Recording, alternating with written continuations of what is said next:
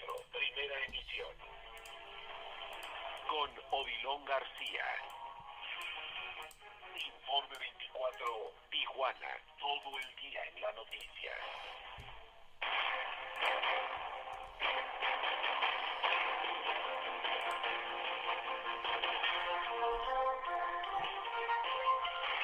Queridos amigos, queridas amigas, les saludo con muchísimo gusto a todos ustedes y por supuesto todos aquellos que nos sintonizan ya en esta hora de la mañana.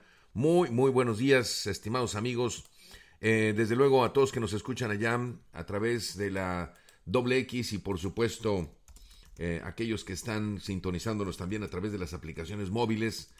Muy buenos días, estimados amigos. En este momento, bueno, le comento a usted que la temperatura ambiente para los que nos escuchan aquí en la región fronteriza y si usted vive en otra parte de la República o del mundo y está interesado en el clima en la ciudad de Tijuana, en esta zona fronteriza, 8 fríos grados centígrados. Hoy hay una disminución importante en la temperatura. Así que bueno, tendré yo la oportunidad de llevarle la información a través de esta señal en un frío intenso en la región fronteriza que no.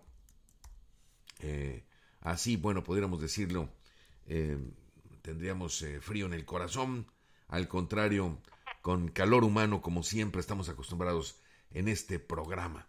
De esta manera, bueno, decirle a usted que tendremos una temperatura máxima de 18 grados centígrados y bueno, pues tendremos un día despejado a partir de las 10 de la mañana. El sol estará brillante, tal vez algunas nubecillas traviesas que aparecerán este día, probabilidad de lluvia hacia el 1%, 7 posiblemente 10% allá por la noche, incrementándose para el día de mañana, sobre todo por la madrugada, con un 72% de probabilidad de lluvia para esta madrugada y el día de mañana. Así que bueno, de esta manera decirle a usted, lloverá posiblemente la madrugada, mañana el 72% y el sábado tengo un 20% de probabilidad de lluvia para que usted se prepare. Mi querido Julio, ¿cómo estás? Muy buenos días en Controles Maestros. Hola, ¿qué tal, caballero? Muy buenos días. Buenos días a nuestros amigos de Mesa Informativa en este jueves, jueves 11 de febrero 2021. Mesa Informativa, 15 años con información local, nacional, internacional. Desde el año 2005, con Odilón García, la voz de la noticia. ¡Ay, disfruten de este día! Con una sonrisa, no bajen la guardia. La salud es primero y todos a cuidarnos. Bueno, y este 14 de febrero es una fecha muy especial, no solamente para el amor, la amistad, los amigos y los novios y los esposos, la familia, sino también para nosotros en este programa porque estaremos cumpliendo años también, mi querido Julio.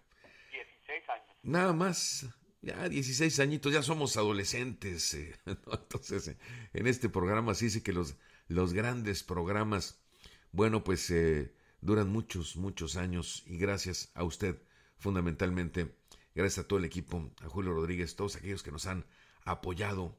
Gracias, mi querido Julio, no tengo más que agradecimiento por tu apoyo. Pero bueno, hoy es 11, el 14 tendremos pues entonces nuestra celebración en grande. Queremos eh, hacerlo en el eh, Petco Estadio. No, no es cierto. No, pues la pandemia no lo impide, pero si no, este domingo hubiéramos hecho un enorme, enorme evento. Pues yo creo que unos 200 mil personas más o menos. No, no, no. Nada de eso. Solamente agradecerle a usted que estamos al aire. Para mis amigos que les gusta la temperatura en grados Fahrenheit, decirle que, bueno, la misma condición de disminución en la temperatura para este día y tenemos 46 Fahrenheit en este momento, algo de eh, nubosidad en la región fronteriza, el sol, el astro rey apareciendo ya en la región Tijuana-San Diego, allá por las 10 tendremos eh, un astro rey brillante y ya para la noche, ya a las 4 de la mañana se espera la precipitación pluvial para este día, 3 de la mañana posiblemente, 3, 4 de la mañana y durante el día viernes tendremos lluvia al 72% con 59 grados Fahrenheit de temperatura máxima y 46 Fahrenheit de temperatura mínima. Es decir, hay un ajuste también todavía más a la baja en la temperatura para el día de mañana. Tendremos 15 como 15 grados centígrados como temperatura máxima para el día de ayer, así es de que cuide, cuide a los suyos, cuídese también. Sin más preámbulos, mi querido Julio, tenemos un resumen de lo más sobresaliente que ha acontecido en las últimas horas en la región, en la República Mexicana, también en el mundo. Acompáñenos la información con gusto. Es para usted.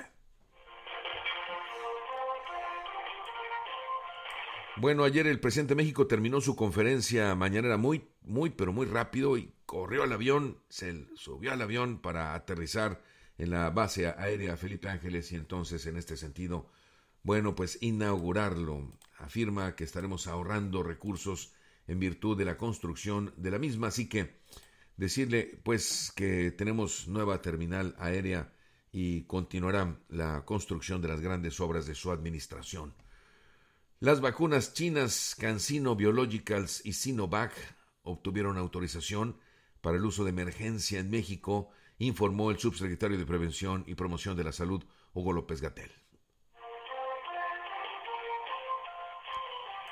El secretario de Salud en el Estado, Alonso Oscar Pérez Rico, informó que las variantes de COVID-19 que más preocupan en Baja California son dos de las tres detectadas, pues ya hay casos en Estados Unidos y Canadá que muy probablemente llegarían en esta zona fronteriza, lo que, bueno, pues sería entonces con ello la tercera ola de este padecimiento y que no son compatibles con las vacunas que actualmente se están aplicando en la región, reconoce.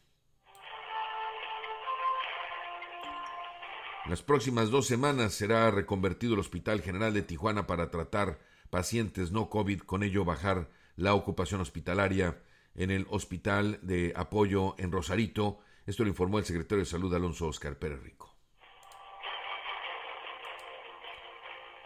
De igual manera, le comento a usted que el gobernador Jaime Bonilla Valdés publicó un decreto que establece penas de cárcel a quienes induzcan a menores de edad a la ludopatía, es decir, a este tema del juego, cárcel para aquellos eh, adultos que estén induciendo a los niños a jugar, así apuestas, juegos de azares, maquinitas tragamonedas, con el fin de, entre otros, de combatir la corrupción de infantes. Este es un grave mal en el cual enfatiza el gobernador.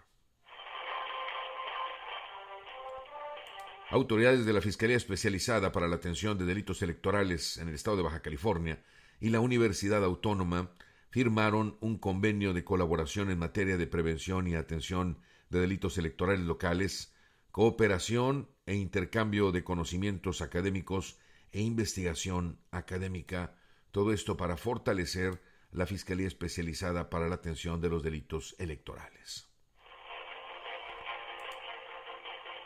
La noche de este miércoles una mujer fue asesinada al ser degollada por una persona desconocida, en tanto se encontraba dentro de un conocido bar y centro nocturno denominado Adelitas, el cual se encontraba además en operaciones de acuerdo con lo que establece la autoridad. Yo sé que hay un nombre de una persona que se dice es el responsable. Eh, son acusaciones que la autoridad, como base fundamental, debiera y sería nuestra fuente para informarle a usted. El gobierno de Baja California busca acelerar el proceso de recuperación de los recursos económicos de aquellas compañías con adeudos de agua para intervenirlos en más obras hídricas en el estado de beneficio directo para la población. Los ayuntamientos de playas de Rosarito y Ensenada analizan firmar un convenio de colaboración para atender de manera conjunta el tema de la seguridad en el poblado La Misión, que se ubica entre los límites de estos municipios, informó el secretario técnico de la Mesa de Seguridad de Baja California, Isaías Bertín Sandoval. La industria gastronómica en Tijuana continúa con vigor a pesar de la pandemia, pues mientras en otras ciudades del país las condiciones han sido adversas, en esta frontera las inversiones en nuevos establecimientos no paran. Los candidatos a puestos de elección popular y sus equipos de campaña son sujetos obligados de la Ley de Responsabilidades Administrativas de Baja California, advirtió el secretario ejecutivo del Sistema Estatal Anticorrupción en Baja California, Luis Irineo Romero, durante una reunión con el Consejo Em, donde estuvo presente el consejero presidente del Instituto Estatal Electoral, Luis Alberto Hernández Morales. Como parte de las acciones para combatir el flujo de armamento ilegal por cruces de la frontera norte del país, la Administración General de Aduanas, en coordinación con la Guardia Nacional y el Ejército Mexicano, decomisaron cartuchos, cargadores, armas de fuego en la aduana de la frontera norte, específicamente en la aduana de Sonora. Decía usted hace un momento que las obras en el aeropuerto Felipe Ángeles, uno de los generalísimos del general Pancho Villa, bueno, es el nombre Felipe Ángeles, ubicado en el área de base aérea de Santa Lucía, fueron supervisadas por el presidente de México ayer, quien junto con funcionarios de su gobierno e invitados efectuó la inauguración parcial al aterrizar en una aeronave de la Fuerza Aérea Mexicana. Una de las dos pistas concluidas, la terminal aérea deberá finalizarse este próximo 21 de marzo, también, fecha histórica, el día del natalicio de Benito Juárez García, expresidente de México, y la entrada de la primavera.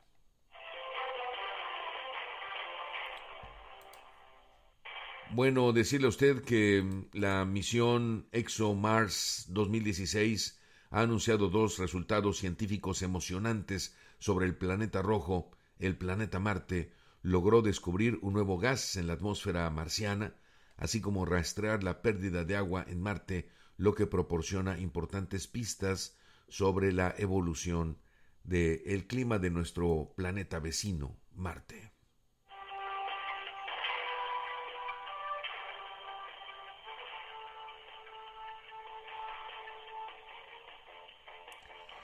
Finalmente, finalmente México está con 1.957.889 contagios eh, desde que comenzó la pandemia, en el lugar número 13.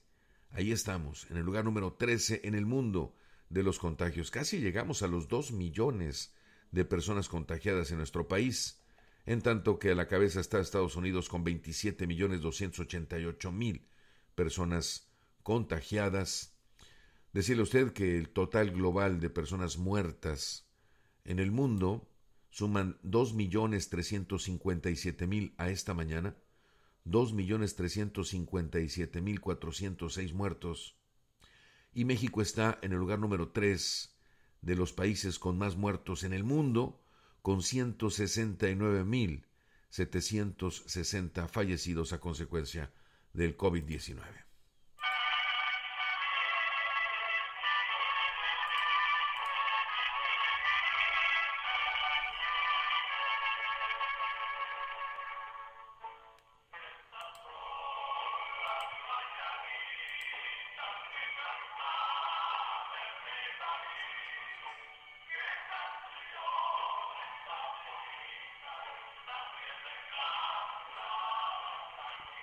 Bueno, mandamos felicitación a todos los cumpleañeros de ambas Californias, precisamente este 11 de febrero, donde estamos saludando a Nuestra Señora de Lourdes, igualmente saludando y felicitando a todos aquellos que están de manteles largos. A Lourdes Maldonado le mandamos un abrazo, una felicitación en esta mañana por su cumple. A Luciano Desiderio, Castrense, Lázaro Secundino, Saturnino, Jonás, Lourdes, la forma original de este topónimo es lorde, palabra vasca que significa altura, prolongada, en pendiente o costera. Lourdes es el nombre de una ciudad del Pirineo francés. Su forma españolizada es Lourdes. Se adoptó como nombre propio de persona, al igual que tanto eh, en este sentido eh, adopta como nombre propio la persona e igual eh, tantos otros topónimos a partir de las apariciones de la Virgen Bernadette Suborn, en la cual, bueno, en el año, le eh, preciso a usted, en el año de 1857, el 11 de febrero, la fiesta de Nuestra Señora de Lourdes, en, 1907, fiesta eh, que se extiende a toda la Iglesia Católica, y bueno, con ella también el nombre evocado o evocador de salud, también de bendición. Muchísimas felicidades a todos ustedes.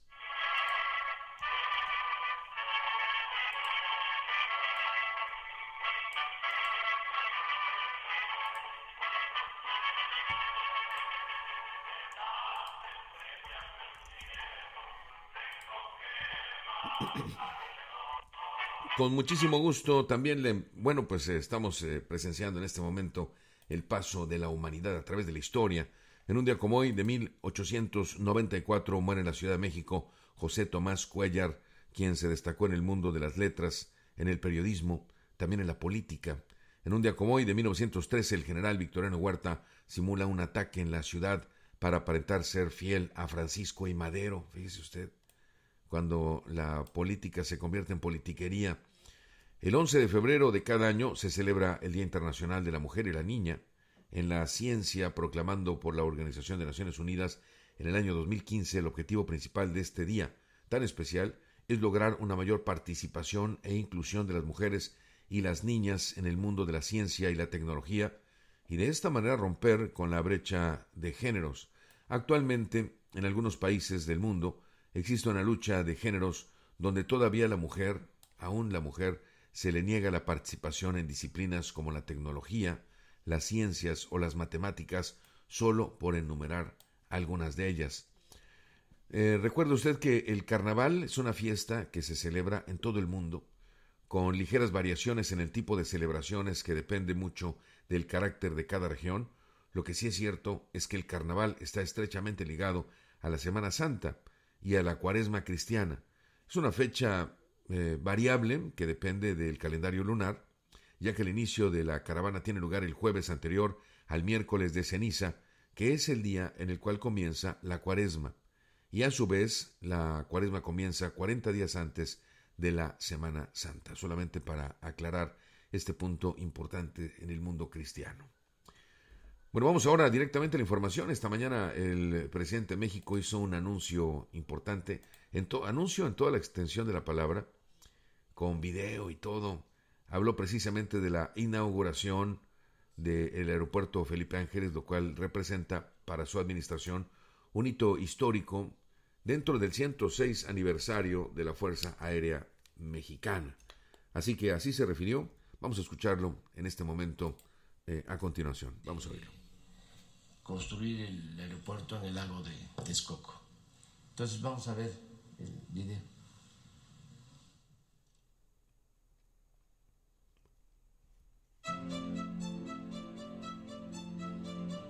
Hoy día de la Fuerza Aérea Mexicana, en su 106 aniversario, vamos a visitar el aeropuerto Felipe Ángeles, a inaugurar la base aérea. Es una hazaña el que en tan poco tiempo se tenga ya terminada la base aérea de el aeropuerto Felipe Ángeles. Construcción que ha estado a cargo de la ingeniería de la Secretaría de la Defensa, de los ingenieros eh, militares. Este nuevo aeropuerto que incluye tres pistas, instalaciones modernas para el aeropuerto civil, va a costar cuando mucho 75 mil millones de pesos. Nos estamos ahorrando 225 mil millones de pesos.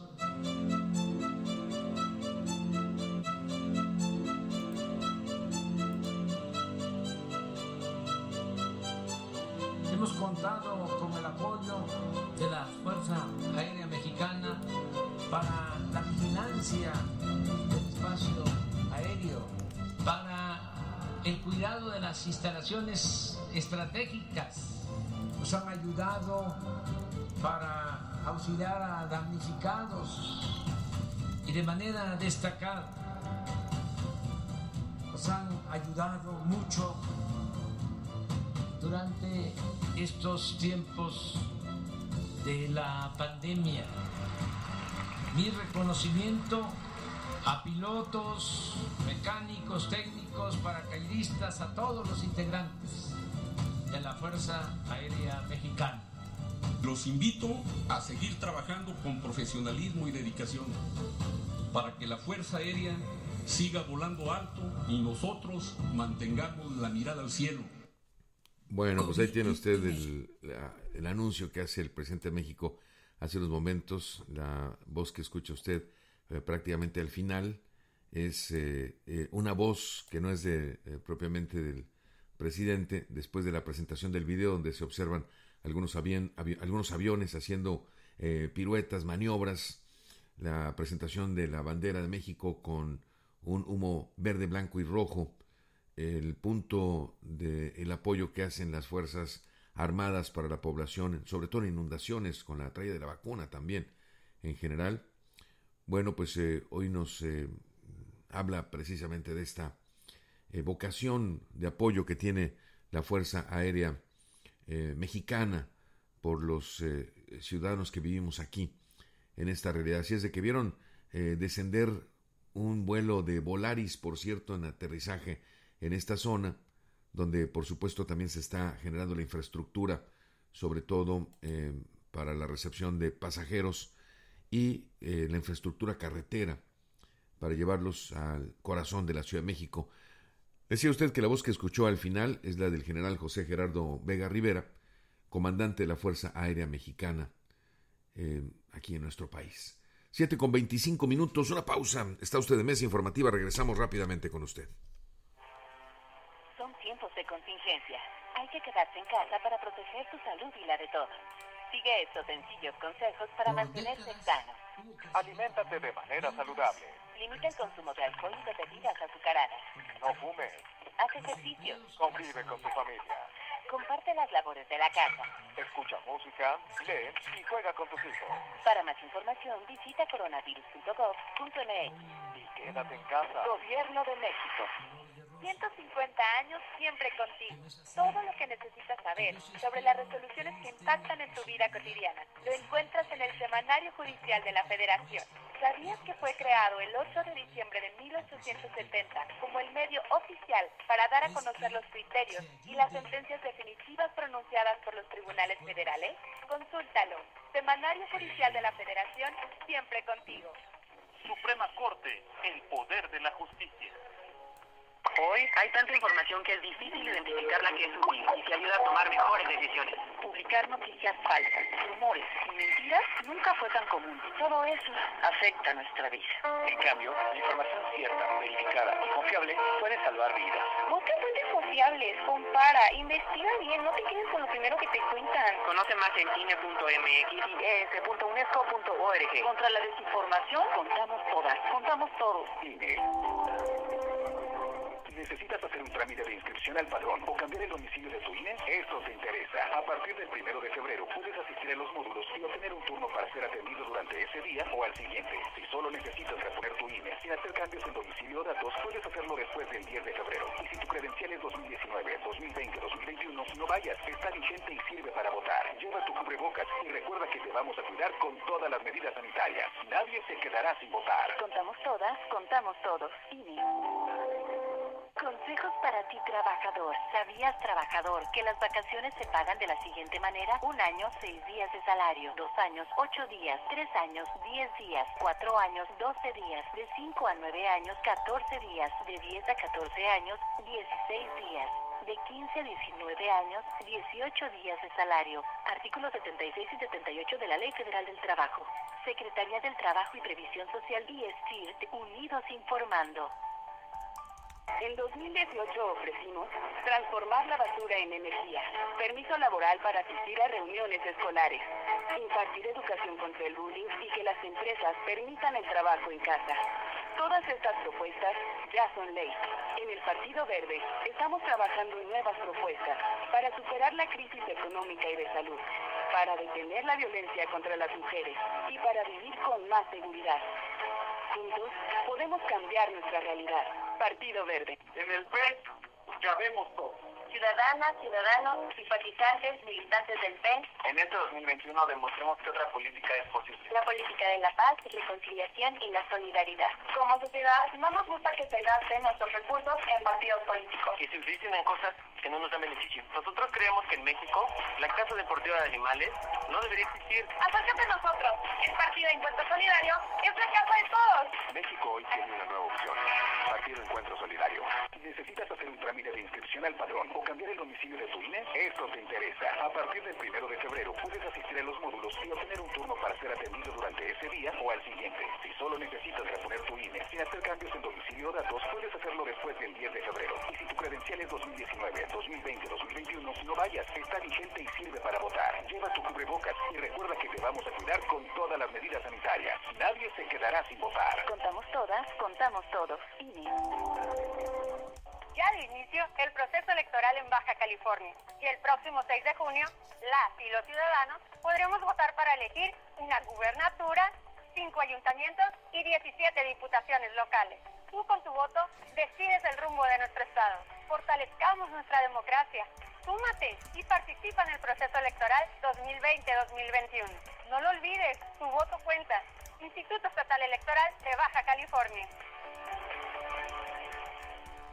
¿Sabías que comete un delito en materia electoral la persona que publique o divulgue imágenes, mensajes o información privada de una mujer que no tenga relación con su vida pública, utilizando estereotipos de género que limiten sus derechos político-electorales? Recuerda que si alguien actúa indebidamente en el proceso electoral, habrá consecuencias penales. Conócenos e infórmate a través de las cápsulas de prevención que podrás escuchar por esta misma estación. Fiscalía Electoral de Baja California y STIRT. Por la legalidad electoral.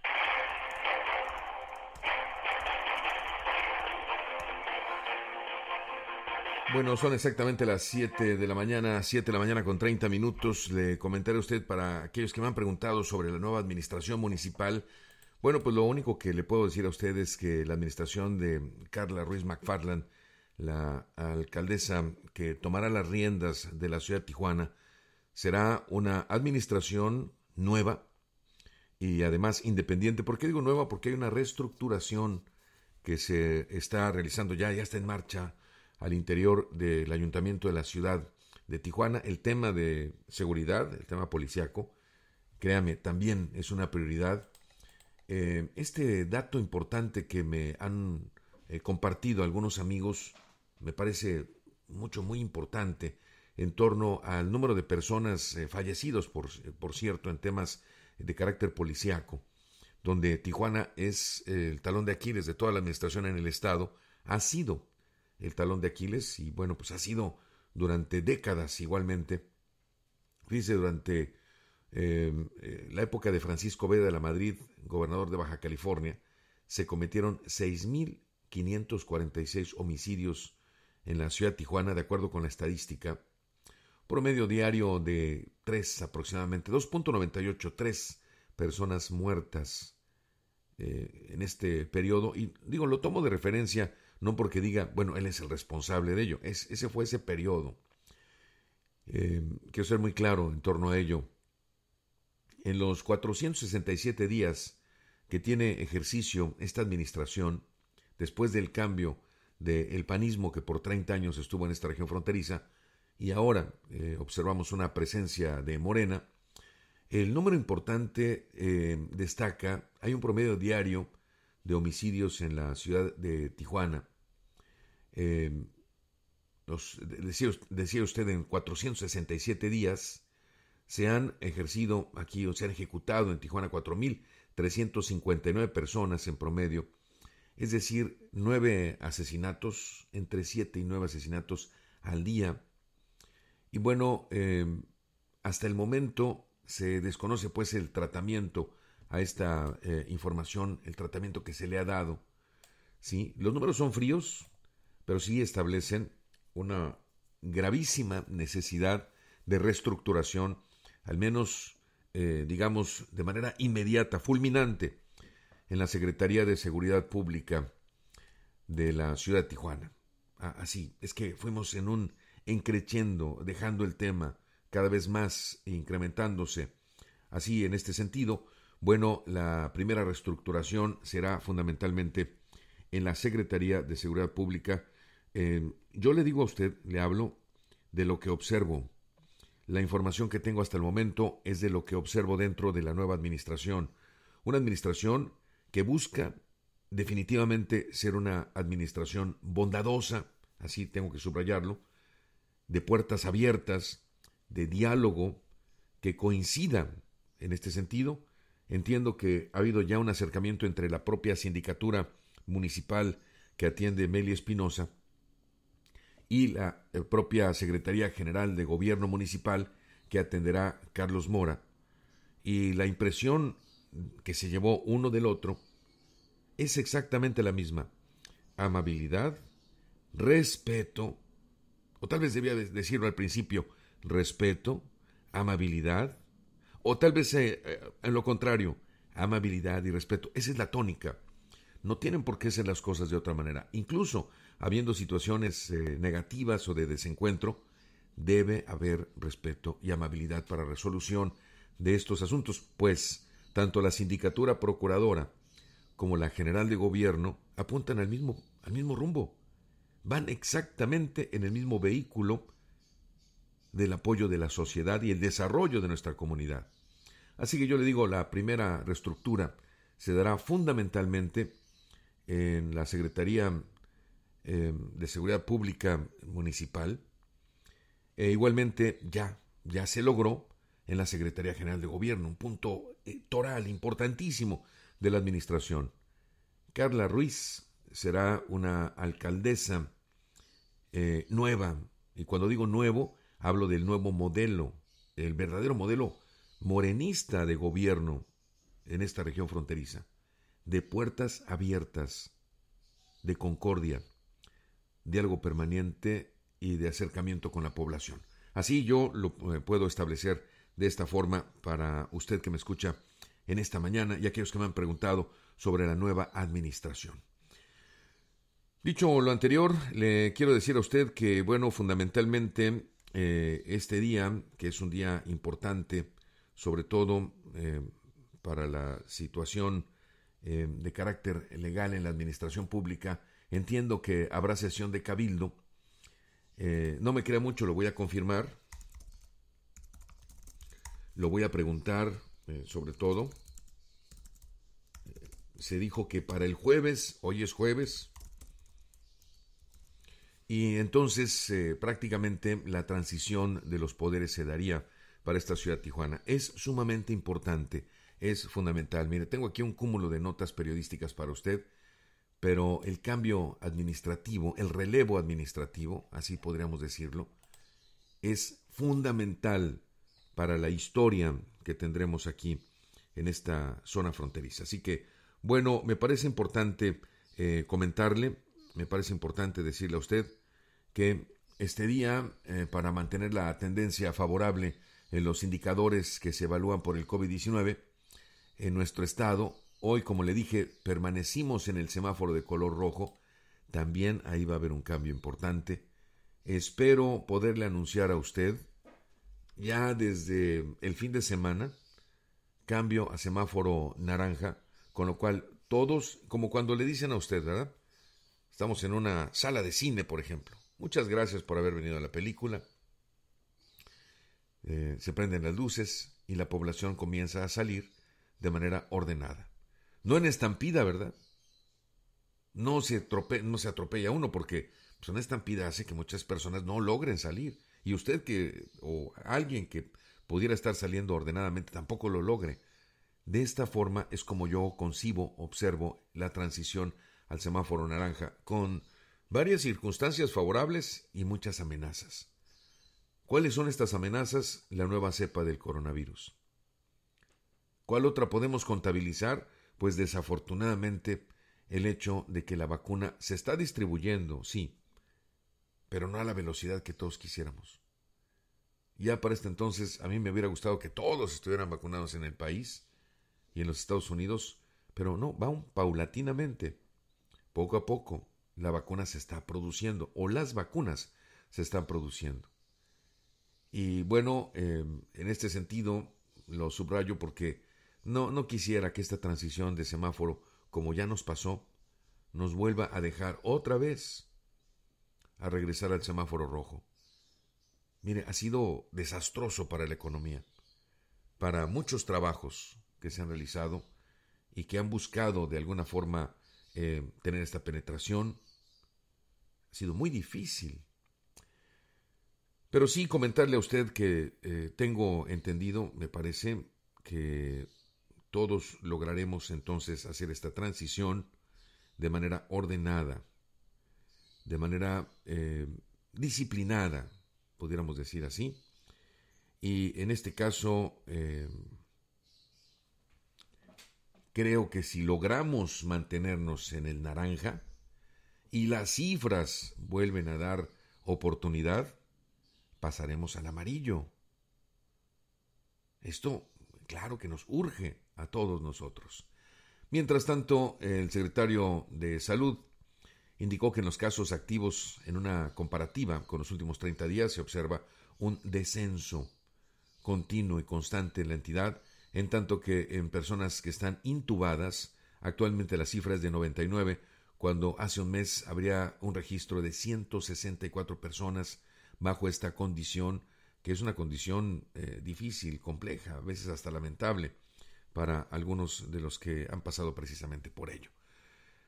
Pero bueno, la ocupación hospitalaria eh, COVID-19 en Baja California es de 34.01 con 629 camas disponibles, 206 ventiladores disponibles, 261 pacientes en este caso. Y bueno, eh, comentarle que si nos cuidamos todos, como nos indica Julio Rodríguez, vamos a tener una mejor expectativa, vamos a tener una mejor oportunidad de salir todos eh, triunfantes, de salir todos avante, avante.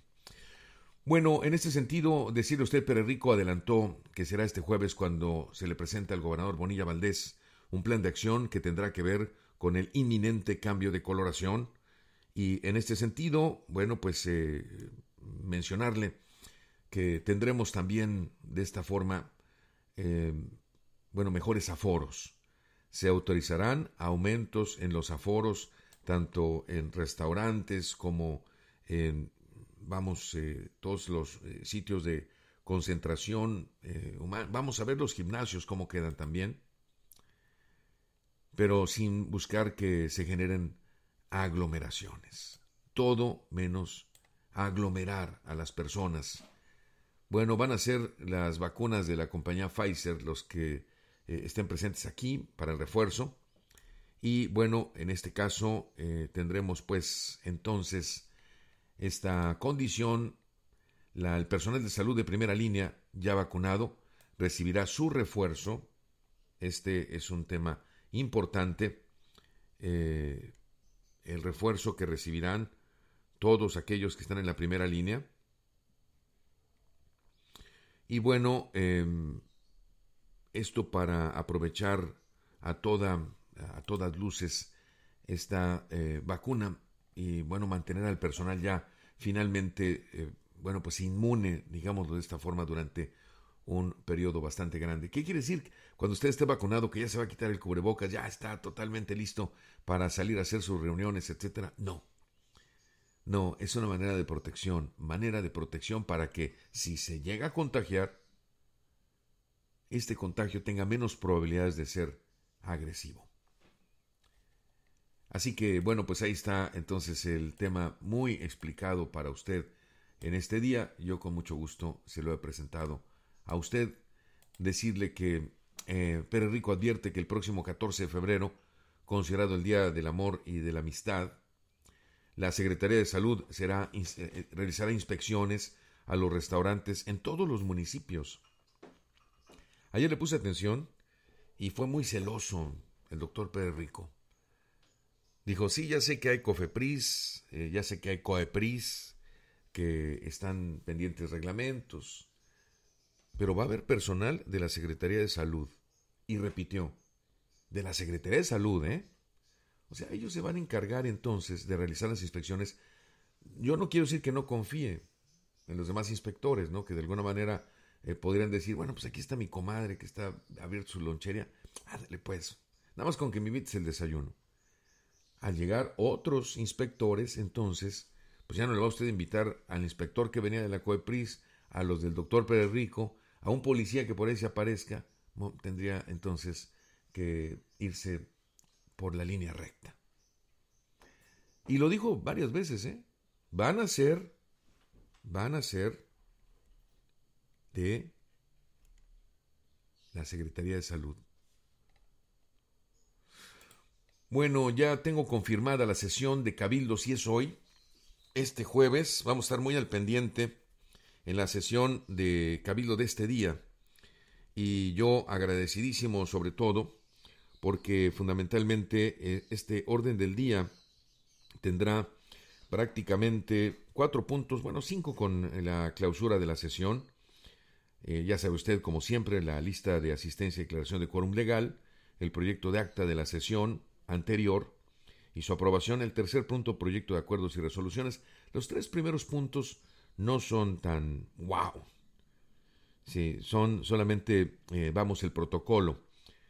Pero después eh, ya viene de suyo eh, la iniciativa de proyectos, los acuerdos relativos a las modificaciones de los reglamentos, los informes semestrales de actividades, el informe de la unidad de transparencia, es importantísimo este informe, el acuerdo económico relativo a que se realicen aportaciones voluntarias para el fortalecimiento y el sostenimiento del heroico cuerpo de bomberos de la ciudad de Tijuana. A yo sí le voy a pedir a usted, eh, por favor, que considere mucho cuando diga no. Porque cuando tenemos una emergencia, ahí están los bomberos. Pase lo que pase, la administración que ocurra, suceda, sea del color que sea, ahí están nuestros heroicos bomberos. Yo les tengo un enorme agradecimiento. Enorme, enorme. He visto cómo han puesto su vida en riesgo. He visto cómo han eh, resuelto casos que eh, usted y yo, la verdad, preferiríamos irnos a nuestra casa y no arriesgar nuestra vida. Y han perdido la vida también. Bueno, en esta sesión eh, de Cabildo, que convoca precisamente, ya por último, Carlos Murguía, se hará, vamos de acuerdo a la información que tengo hasta el momento, el cambio de administración. Esta convocatoria se hizo el 10 de febrero del 2021. La convocatoria es de la Secretaría General de Gobierno. Así que, bueno, este, así va. Así va esta. Eh, así va este, este tema. Y bueno, eh, algunos me han comentado eh, esta, eh, esta administración así es como una serie de Netflix, me han dicho. Con capítulos y demás de que va a ocurrir lo impensable en un momento determinado. Pero espero, espero, espero que fundamentalmente ahora sí tengamos ya una administración firme sin altibajos a eso me refiero y lo deseo de todo corazón para todos aquellos que son los actores eh, fundamentales y que, bueno, en este sentido eh, haya mucho éxito para la nueva administración y aquellos también que se van, por supuesto, porque no hay que desearle el mal a nadie. Creo que esa puede ser nuestra tónica, jamás desearle el mal a nadie. Y eso es eh, parte fundamental de lo que hemos establecido para todo este año dentro de este programa. Un programa eh, donde bondadosamente nos ponemos en los zapatos de los demás y donde queremos lo mejor, lo mejor para todos. El secretario de Salud en el estado de hace un momento, Alonso Oscar eh, Pérez Rico, afirmó que las variantes de esta enfermedad COVID-19, o más bien las variantes del SARS-CoV-2, las variantes del virus. Sí, no las variantes de la enfermedad. Fíjense, es que aquí utilizamos eh, COVID-19 o SARS-CoV-2 de manera indiscriminada y no está bien. No es, ah, no es correcto. COVID-19, lo voy a seguir diciendo hasta que todos lo aprendamos muy bien, es la enfermedad. COVID o COVID-19 es la enfermedad.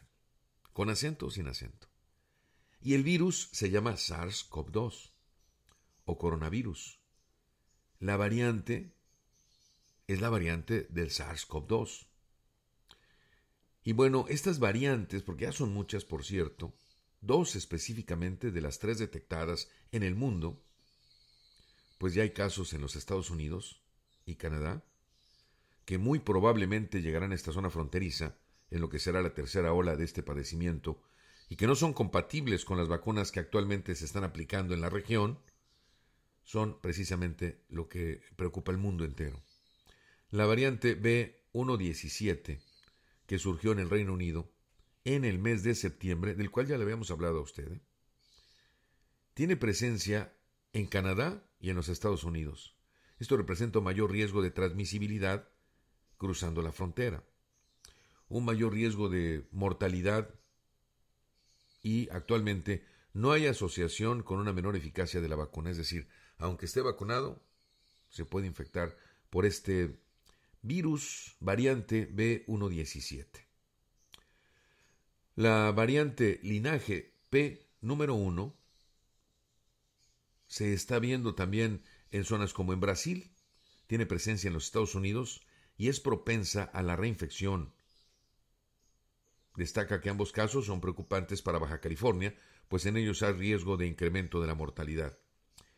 Se informa que debido a la tendencia a la baja de contagios de eh, eh, SARS-CoV-2, que actualmente se registran, ayer eh, mencionó que este día, este jueves, este mismo día que se está realizando, eh, bueno, pues hoy actividad febril en todos los espacios, la tendencia a la baja en contagios de COVID-19 que actualmente se registra,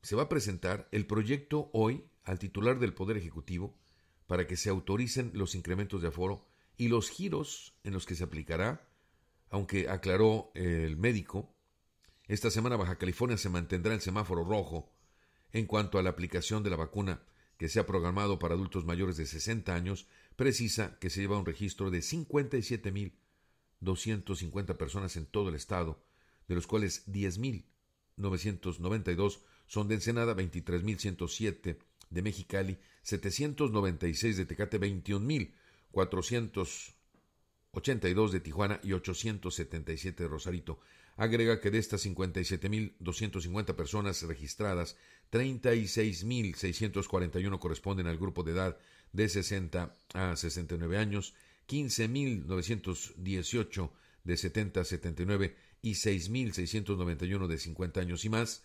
Sin embargo, de esta población, 22.327 se encuentran sanos, 9.057 presentan obesidad, 14.879 diabetes, 26.000 273 hipertensión, se estima 636 eh, que son asmáticos, 45 tienen VIH, 840 cáncer y eh, 158 la enfermedad conocida como EPOC, aunque destaca que serán vacunados los mayores de 60 años, empezando por los mayores de 80, que presentan varias comorbilidades, sobre todo en comunidades donde no se concentran tantos como en las ciudades. Esta gráfica nos muestra que tenemos, yo lo voy a ver desde el punto de vista positivo, tenemos que incrementar nuestra salud. Tenemos que luchar como podamos por tener mejor salud. De, esta, de tal suerte, fíjese usted, que no necesariamente dependamos de una vacuna, sino de nuestra capacidad para reaccionar, no a este virus, al que venga. Con la finalidad de evitar que las niñas y niños caigan en la trampa del juego, en otro tema, así como combatir la corrupción de infantes, el gobernador Jaime Bonilla Valdés publicó un decreto que establece penas de cárcel a quienes induzcan a menores a la ludopatía por medio de juegos de azar, apuestas, maquinitas, targamonedas.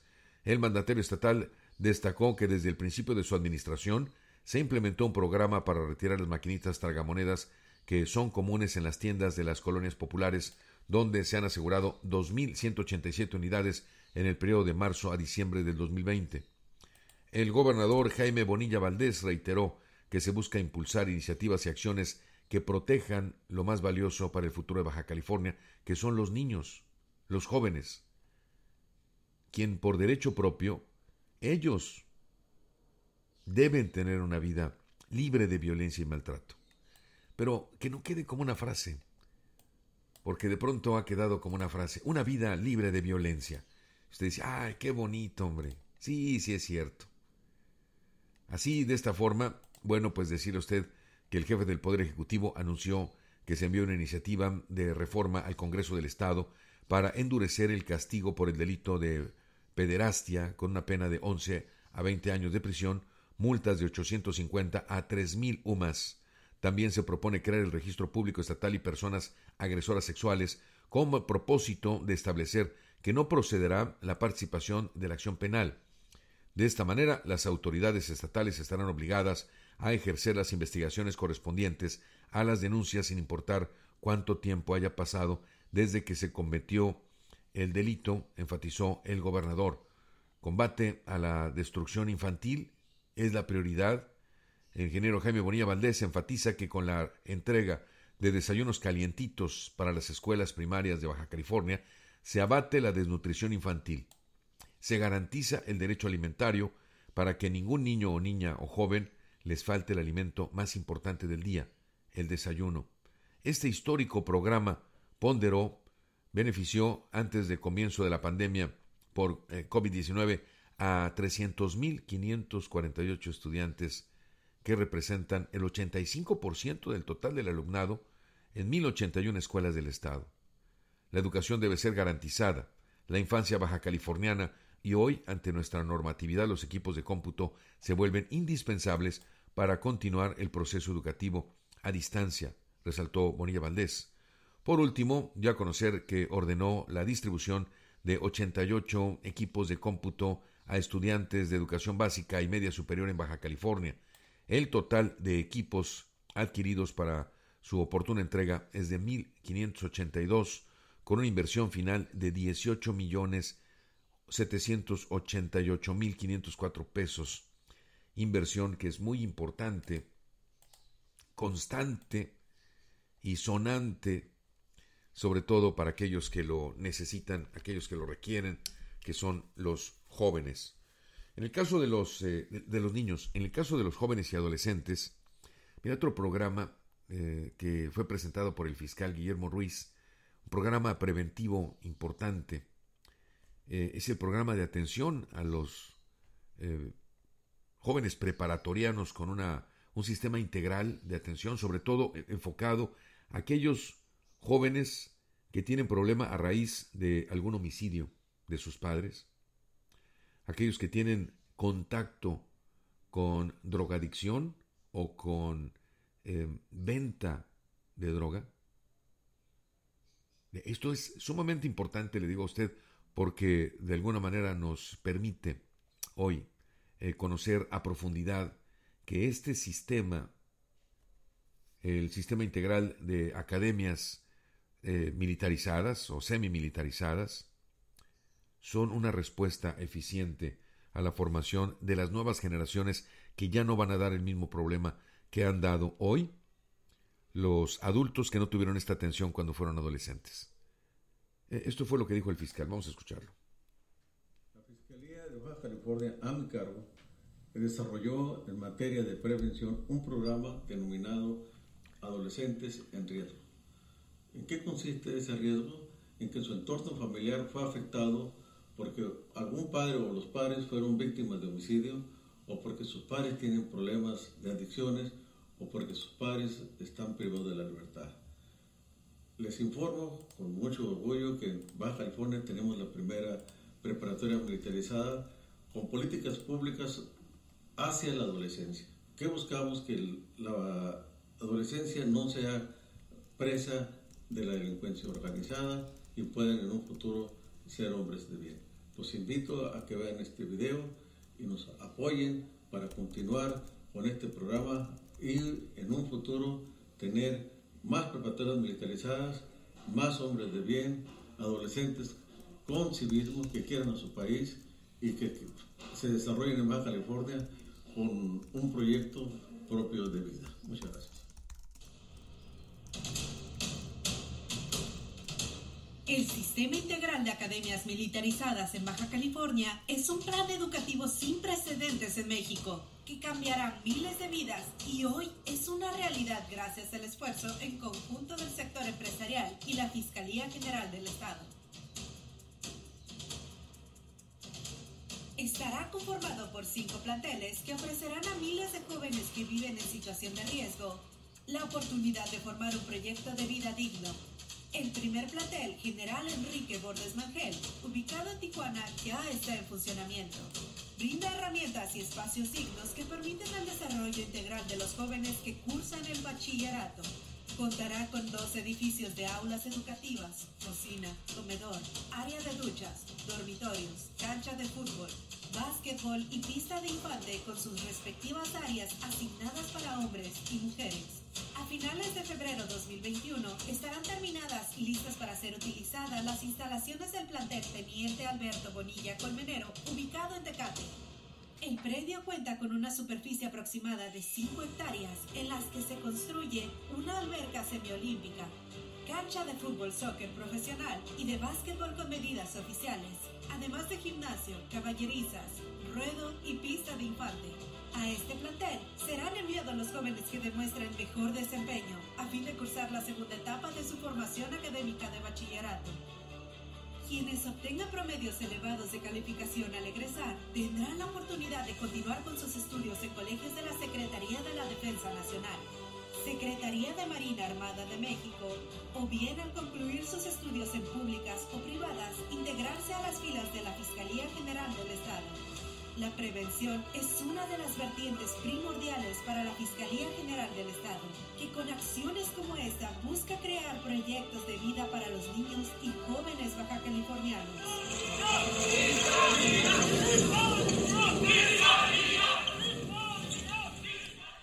Bueno, pues ahí está. Entonces esta eh, próxima camada de jóvenes eh, que serán formados a través de la disciplina. Eh, quiero decirle a usted que, bueno, prácticamente un servidor viene de, mm, no, no tan igual, pero sí una formación privilegiada en el Centro Escolar Niños Héroes de Chapultepec, en la ciudad de Puebla, donde, digo, hoy es un proyecto en Baja California, qué bueno, me da muchísimo gusto.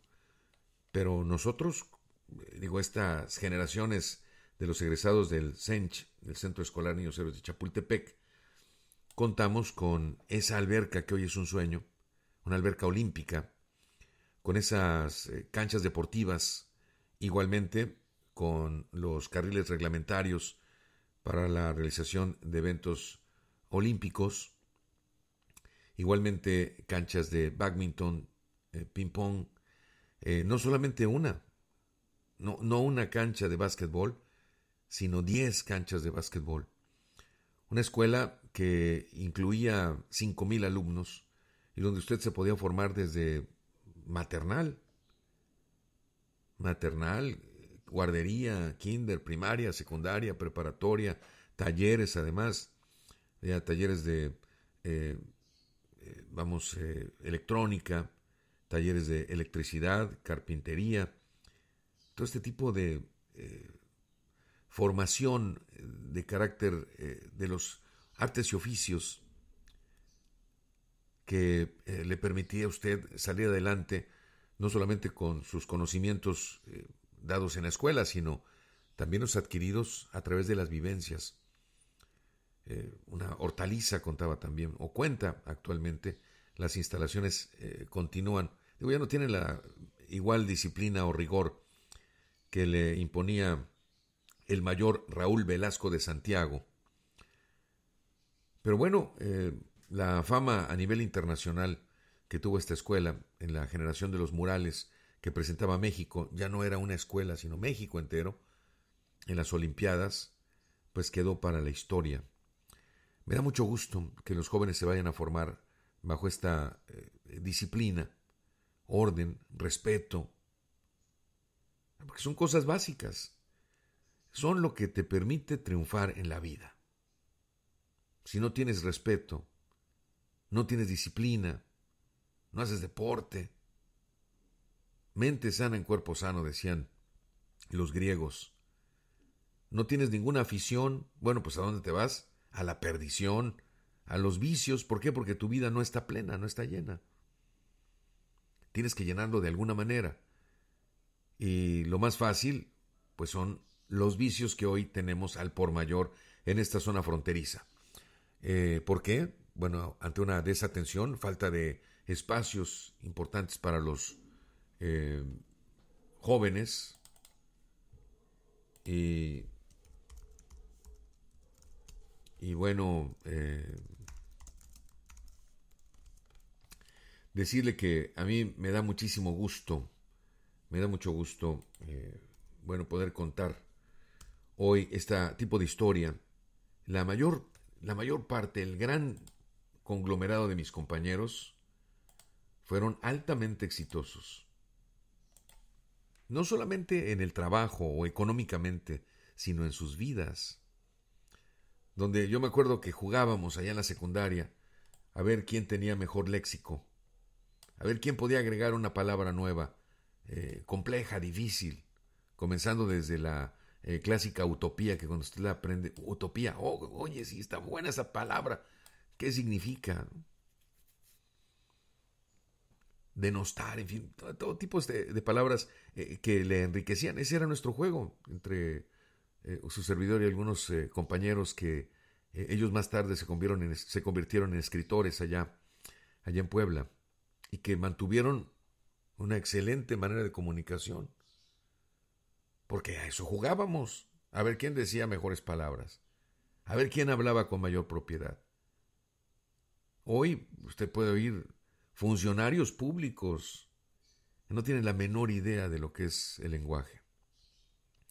Por cierto, Enrique Bordes Mangel, el nombre que se le da a una de estas instalaciones, es un guanajuatense, nacido en 1886, político, activista, revolucionario, abogado, periodista, funcionario, orador mexicano, cuya gran capacidad y calidad intelectual le permitió participar activamente en actos cívicos, culturales, sobre todo aquí, en esta ciudad de Tijuana. Miembro importante del Partido Nacional Democrático durante su participación en la política, trabajó de manera activa en, la Convención Nacional Antireeleccionista junto con Cándido Aguilar, proclamó el plan de San Ricardo, levantándose en armas en Atoyac, Veracruz. Por cierto, por estas hazañas es considerado el precursor de la Revolución Mexicana, con presencia importante en esta nuestra ciudad de Tijuana. En la Revolución Maderista trabajó como periodista en los pocos diarios o revistas que no estaban subvencionadas por el régimen de Porfirio Díaz, fue compañero redactor de Jesús Urueta y Matías Oviedo. En México, en México Nuevo, cuando menos desde febrero de 1910. Ese diario lo dirigía Juan Sánchez Ascona. Eh, don Juan Sánchez Ascona, de apellido periodístico, cuenta precisamente Sánchez Ascona que llegó el llamamiento a la revolución en 1910 en San Antonio, Texas. Se fueron reuniendo progresivamente varios expartidarios, entre los que estaban Juan Andrew Almazán, César López de Lara, Ernesto Fernández Arteaga y Enrique Bordes Mangel, entre otros, entre ellos además el propio Madero terminaron de afinar el plan de San Luis en la casa de Fernández Arteaga en la West eh, Macon Street. Fue de los primeros eh, detenidos al cruzar al país, acusado de sedición a su regreso precisamente a San Antonio. Bueno, en el número 663-200-5649 nos puede usted localizar, 663-200-5649 número telefónico donde usted nos puede enviar sus WhatsApps, nos puede mandar todo tipo de información e incluso también si usted gusta participar en este su programa matutino de noticias. Allá en Mexicali, con el objetivo de contribuir al adeudo desarrollado eh, por la, al adecuado perdón, desarrollo de la función pública electoral y fortalecer así de esta manera eh, la Fiscalía Especializada para la Atención de Delitos Electorales del Estado, y la Universidad Autónoma de Baja California, estos celebraron la firma de un convenio general de colaboración en materia de prevención y atención de delitos electorales locales, con la cooperación e intercambio de conocimientos académicos e investigación académica. El documento fue asignado por el fiscal electoral el maestro Carlos Barbosa Castillo y por el rector el doctor Daniel Octavio Valdés Delgadillo. Me da mucho gusto informarle a usted de esto, porque en la tecnificación y la especialización de este tema. Eh, hoy, eh, por supuesto que tenemos una gran oportunidad de formar a los especialistas eh, que estarán a cargo de esta y otras dependencias. Y por supuesto el intercambio de información, el objetivo del convenio es establecer las bases, los mecanismos operativos para coordinar la ejecución de diversos programas y estrategias también, programas y estrategias de capacitación, docencia, extensión de la cultura política democrática, difusión y divulgación para la prevención de delitos electorales, promover la cultura de la denuncia. Resaltó la Fiscalía en este sentido, el maestro Carlos Barbosa Castillo, la importancia estratégica que representa la alianza con la Universidad Autónoma de Baja California. Voy a tratar de localizarlo más adelante para poder platicar con él. Hoy tengo llamada telefónica con mucho gusto a sus órdenes. Buenos días, ¿con quién hablamos? Muy buenos días, licenciado. Habla la señora Juanita. Juanita, ¿cómo está? Saludándole, felicitándolo como siempre por su programa. Y una pregunta. Sí, Juanita. A ver, un segundito, creo que perdí. Ahí está. Un grupo de jóvenes, y mencionó usted, los mencionó como, como camada. Ajá, sí, sí. Para mí, camada no es lo correcto. Ok. Perdón, estoy mal. Pero ahorita le estoy a decir, porque camada estoy viendo que pertenece a un conjunto de crías de mamíferos paridas de una sola vez. Exacto, sí. O en efecto es un conjunto de cosas extendidas horizontalmente, de modo que puedan colocarse otras sobre ellas. Camada de ladrones, por ejemplo, por ejemplo, y cuadrilla de ladrones o de pícaros. No sé si sería lo, no a lo mejor estoy mal, discúlpeme, pero no sería lo más correcto decir grupo. Sí, claro, también, por supuesto.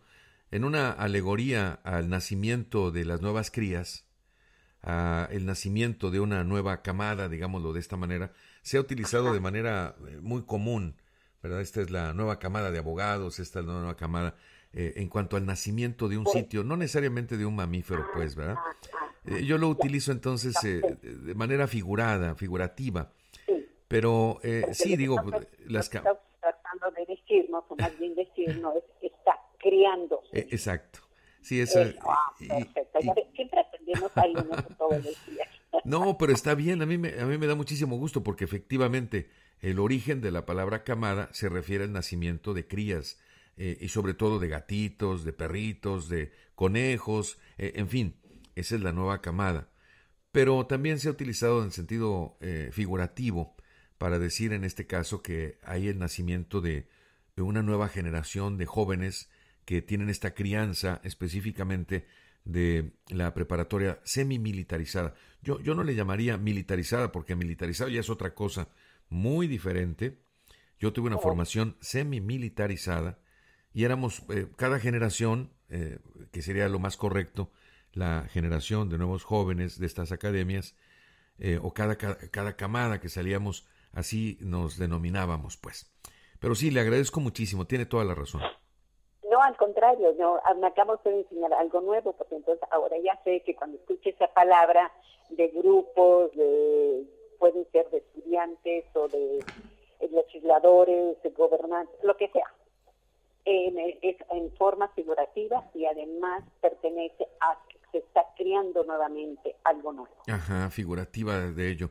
Eh, por cierto, en las en la política, por ejemplo, eh, el PRI se encargó por muchos años de generar varias camadas de políticos y los, eh, ahora sí que los formaba dentro de sus filas.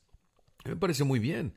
Digo, les enseñaban eh, oratoria, les enseñaban historia de México y eso se ha ido perdiendo paulatinamente.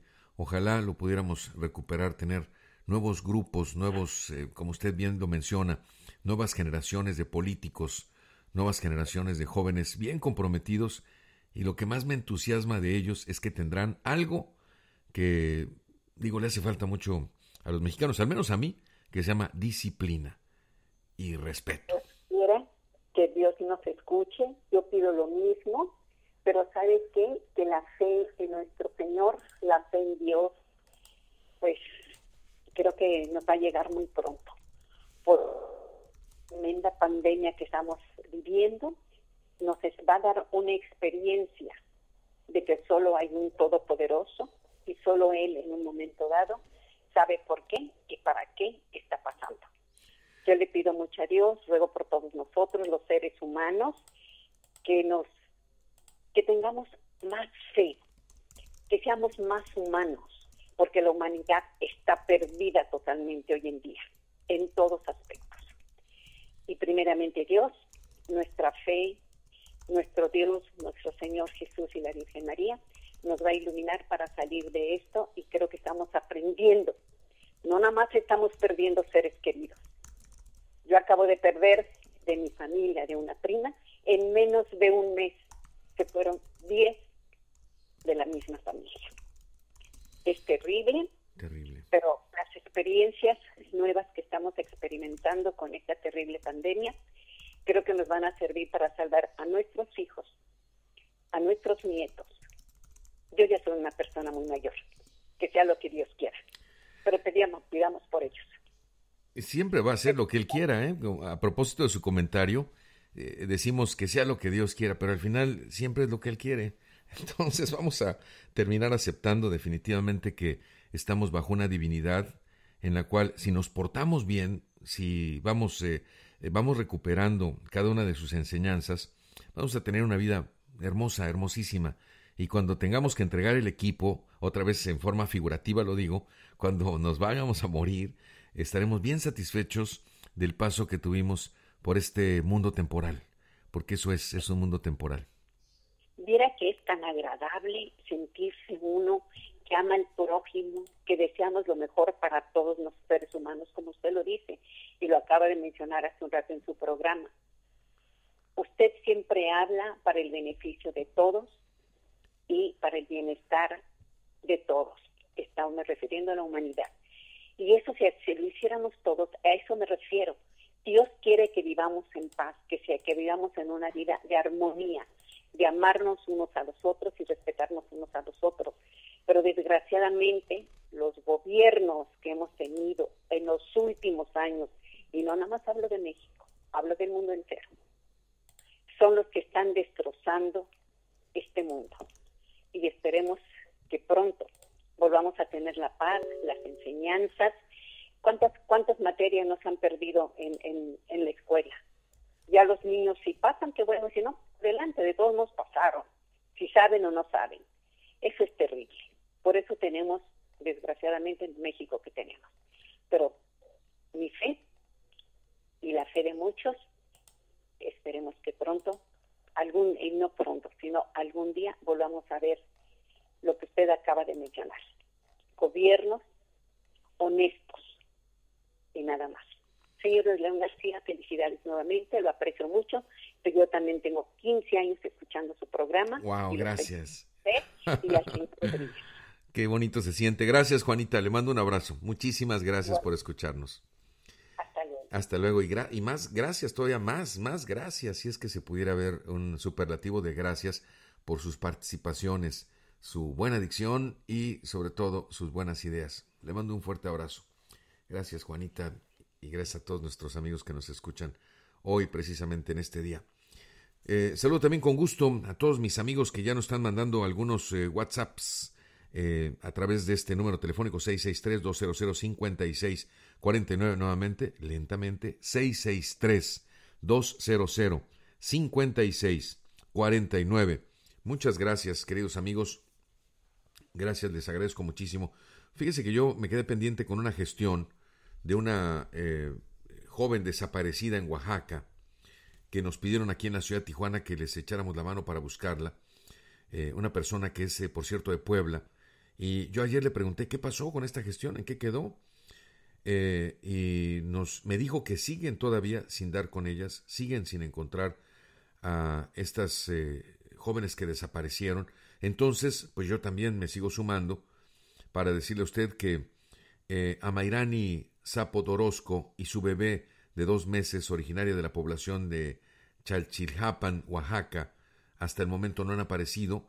Se desconoce su paradero. Cualquier información, por favor, al 971 971 21 eh, perdón, repito, 971 es el área, 218 73 74, número telefónico donde, bueno, pues ahí volvemos a repercutir este número. Aún no las encuentran, aún siguen desaparecidas. Eh, yo en este momento eh, estoy subiendo la información. Eh, pedirle a usted, por favor, ayuda. Si usted sabe de ellas, de esta mujer y su bebé, se lo vamos a agradecer muchísimo. ¿Verdad? Esto, esto es importante. Sobre todo, bueno, estoy compartiendo otra vez en mi muro esta información que surgió en el 24 de diciembre del 2020, ¿verdad? Para que usted haga lo mismo. Acabo de compartir esta información ya en mi personal Odilón García, aquí en la ciudad de Tijuana, eh, decirle a nuestros amigos y amigas que están buscando a sus familiares para mantenernos en la búsqueda de eh, su sobrina y de su bebé desaparecidas en Oaxaca, ¿verdad? Y que sabían que iba a venir aquí, iban a venir a esta ciudad de Tijuana. Eh, seguimos unidos. Ahí en mi muro de, eh, de Facebook, Odilón García, ya usted podrá ver la fotografía de esta joven y de su bebé. Igualmente le comento a usted que lo estamos compartiendo en Diario Tijuana, en Facebook, Diario Tijuana, y haremos una nota correspondiente a este particular, a Mairani Zapot Orozco y su bebé de dos meses, originaria de la población de Chalchihapan, Oaxaca. Hasta el momento no han aparecido, por favor, ayuda eh, por parte de toda la sociedad, población fronteriza. Cualquier información al número 971 el área 218 7374. Vamos a continuar con este tema. Yo creí en un momento determinado, porque pasaron estas fiestas de fin de año y todo lo que usted guste y mande, eh, al no tener comunicación, pensé que ya la habían localizado.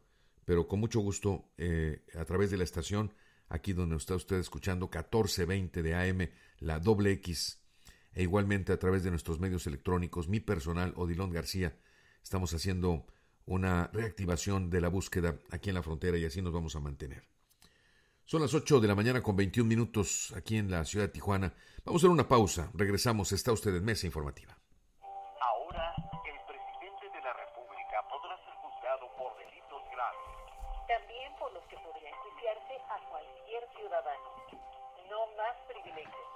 Así se combate la corrupción y la impunidad se fortalecen los principios de igualdad e imparcialidad ante la justicia. El Senado de la República aprobó la reforma constitucional que elimina el fuero presidencial. Senado de la República. Cercanía y resultados. Él me enseñó a fumar cristal, pero no me, no, yo no me sabía aprender y por acá me enseñaron. Pero mis hijos no me han hacer eso. Sí saben qué clase de mamá tiene porque está en toda mi vida. Me decía, activo, fiera. Que veía le pegaba. Hermanos mandaban, ¿y qué? ¿Cómo tenemos un pedo? Y como él lo caía y se peleaba con quien fuera no me daba allá la casa. El mundo de las drogas no es un lugar feliz. Busca la línea de la vida, 800-911-2000. ¿Cómo vas, hijito? Muy bien, abuelita. Te está quedando muy bonito. Gracias, estoy haciendo mi mejor esfuerzo. Recuerda, tenemos que amar a México. Sí, abuelita. No, mamá, no me voy del país. Yo creo en México y aquí voy a salir adelante. Hoy más que nunca tenemos que amar, creer y luchar por nuestro país. PRI, el Partido de México. ¿Dónde estaríamos sin ellos? Por las marcas en su rostro, huellas en su corazón, lejos de su familia. Nos toca luchar por ellos. De no se come. Por eso el PT luchará para que nuestro personal médico y enfermera reciban un aumento del 100% de su sueldo. El PT está de su lado. En Menville Instituto eliminamos los exámenes al maestro orador y te capacitamos para tus clases en línea. En Menville Instituto, el alumno recibe educación personalizada y desarrolla su capacidad para crear y aprender. Analiza, trabaja en equipo, aprende a comunicarse y a solucionar problemas. En Menville cambiamos los exámenes por proyectos. Menville Instituto, Universidad y Bachillerato Tecnológico, frente al Parque. Morelos. Abrimos grupos de primero a sexto todo el año. Primera inscripción gratis. Marca 664-903-4193 y menvi.edu.mx. ¿Y cómo es? ¿Te mandan la urna electoral allá? No, con mi gente me registro y decido si voto por internet o por correo. ¿Pero van igual que el voto de mamá que va a la casilla? Claro, porque queremos cosas buenas para México. Entonces es como si viniera. Es como si nunca me hubiera ido. México está donde estás tú. Dile a tus familiares que viven en el extranjero que tramiten su INE, se registren y voten el 6 de junio de 2021. Infórmate en votoextranjero.mx. Contamos todas, contamos todos. INE. Historias se entrelazan a cada instante. Tu historia cuenta. Los derechos electorales nos hacen iguales y con tu participación construimos los valores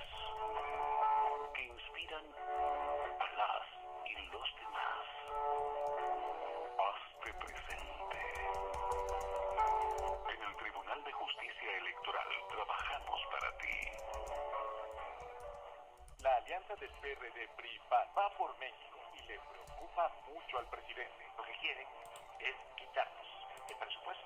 Presidente, usted por qué arrebató el presupuesto a los pobres, a los enfermos, a los niños con cáncer, a los científicos. Que no tengamos una representación mayoritaria en la Cámara de Diputados. Por supuesto que vamos a equilibrar la Cámara para tener diputados y diputadas que trabajen por los mexicanos y no estén a las órdenes del presidente para aprobarle todo. Esta alianza va por México.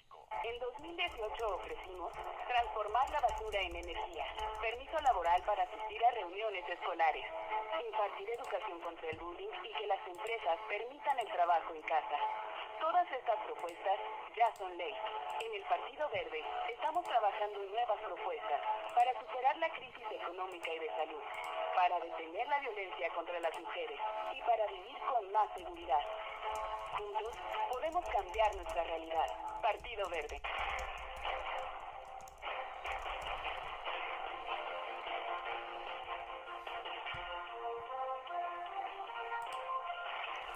Bueno, en este momento hace algunos eh, comentarios el gobernador de Baja California en su transmisión. Vamos a escucharlo. Está con Isaías Bertín Sandoval. Me pasé por un área donde una cartelera.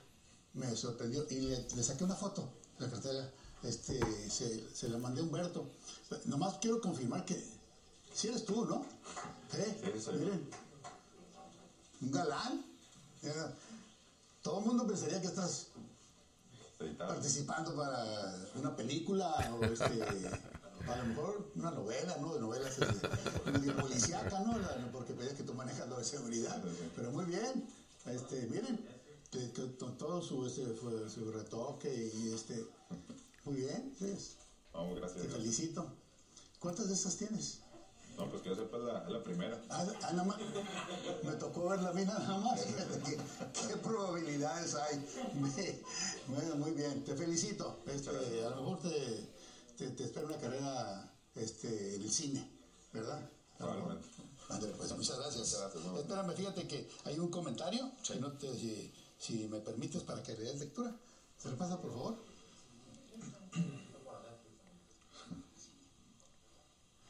A ver si me haces el favor. Claro que sí, señor. Dice, eh, Rubén Obando dice, buenos días, gobernador. Otra para Ripley. El alcalde de Tijuana dice, roba a los pobres para arreglarle a los ricos. Ayer corrió como reguero de pólvora en las benditas redes la noticia de que el alcalde de la ciudad, como vía regalo, donó vía regalo la cantidad de un millón de pesos al multimillonario Güero Valle, concesionario de autos, socio del Club Campestre y compadre del exgobernador Kiko Vega.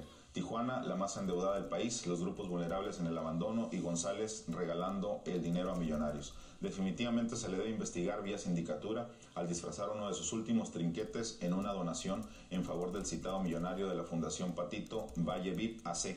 Pues hoy pues hoy de no, hasta de no creerse González Cruz se convirtió en un Hot Robin, es decir, un Robin Hood, pero al revés, al robar a los pobres para regalar a los ricos. Gobernador, ¿cuál es su opinión acerca de este regalo millonario a pesar de que el municipio en el ayuntamiento ya no había ya no había dinero y exigía participaciones a su gobierno. Por sus respuestas, gracias, gobernador, y un saludo a la distancia. anonadado. Me estoy sorprendido, en realidad. Porque no hace tres semanas, cuatro semanas, que hablaban de que estaba tronado el ayuntamiento? ¿Que no hablaron de un crédito de casi 400 millones de pesos porque no tenían dinero? ¿Que no hablaron de que el gobierno federal y el gobierno del estado no los apoyaba? Ahora resulta que hay hasta para regalar. Pero está bien, y a lo mejor la, la causa eh, es una causa noble, pero la haces con dinero tuyo, no con dinero del pueblo. O sea, eso es hacer caravana con sombrero ajeno. Yo no creo que esté muy contenta la gente porque hay muchas necesidades, ¿verdad? ¿Por qué no ir a arreglar un parque? ¿Por qué no ir a arreglar una calle? ¿Por qué no donárselo al DIF? ¿Por qué no comprar despensas y entregarlas? Si tienes ese dinero que sobra, ¿verdad? Para este, hacer este donativo. Yo conozco al Agüero Valle desde hace muchos años. Es una, es una buena persona, es un empresario, es un empresario que se preocupa por su comunidad, no, no me queda ni la menor duda. Pero no, tú no puedes regalar lo que no es tuyo. Eso es un, es un acto de irresponsabilidad y eso debe haber consecuencias. Tú no puedes aunque lo apruebe el cabildo, un cabildo cooptado que ya leyeron la nota ayer, que lo quieren, este, ahora ya vemos por qué, ¿verdad? Este, denominarlo como el mejor presidente en la historia del universo, ¿verdad? Que es risorio, ¿verdad? Pero en fin, es, son actos irresponsables. Él no puede regalar, nadie puede regalar lo que no es suyo. Entonces, esa es mi opinión. Muy mal. Sí leí la nota ayer, no la podía creer, pensé que era fake news. Este, dije, no, pues es una, una cosa inventada. No creo ya que alguien tenga las agallas de, de, agarrar y públicamente regalar lo que no es de él, ¿no? A ver si le gustaría que alguien fuera a su casa y regalara sus muebles, porque hay personas que lo necesitan. ¿Cuál es, cuál es la diferencia? Muy mal esto. Muchas gracias, señor este, Rubén Obando, por el comentario. Como dice, otro para replay. Muchas gracias. Gracias, señor gobernador. Muy buen día. Ahora le quiero pedir, por favor, a... Está por aquí Héctor, vino Héctor, bueno, viene todos los días. Bueno, pues yo dejé el comentario ahí en su generalidad. Eh, muy interesante que Isaías Bertín, que casi no se ríe, ¿verdad? Pues es eh, un funcionario muy serio, digámoslo así, en, su manera de ser. Eh, prácticamente, pues ahí está con estas bromas que le hace el gobernador, que pues es, como dicen aquí en Baja California, carrilludo, ¿no? Allá también en, en Sinaloa. Le da carrilla, es una palabra que, que tenemos muy pegados aquí en la zona fronteriza y bueno, pues eh, una cartelera que aparece ahí con eh, su imagen y su nombre, la imagen de Isaías Bertín Sandoval. Eh, bueno, decirle a usted que le reitero para mis amigos que están sintonizándonos en este momento, hay sesión de cabildo hoy en punto del mediodía. Seguramente la, ventilando esta sesión, la última convocada por el anterior secretario general de gobierno, se retomaría entonces, de acuerdo con lo establecido, la nueva administración que encabezaría Carla Ruiz McFarland y su equipo, en el cual hay ajustes, hay una reestructuración en este momento ya eh, prácticamente para eh, realizarse. En este sentido una eh, mejor administración. Claro, todo mundo busca la mejoría y pues vamos a estar muy al pendiente de llevarle a usted la información correspondiente a esta, eh, a esta información que surge precisamente hoy. Eh, también agradecerle mucho a nuestros amigos que se han comunicado con nosotros. Gracias Sandra Álvarez también que se comunica con nosotros. Muchísimas gracias a todos mis amigos que están a través del WhatsApp 663-200-5649. 663 2005649, número telefónico eh, importante para usted. Gracias por los buenos deseos. Gracias, amiga Sandra eh, Álvarez, que está al pendiente de esta emisión de noticias. Bueno, decide que ya en Rosarito, de acuerdo con la información que tengo en este momento, eh, de acuerdo con la información que tengo en este momento, hay una persona que apareció allá eh, quemada, aparentemente es un indigente.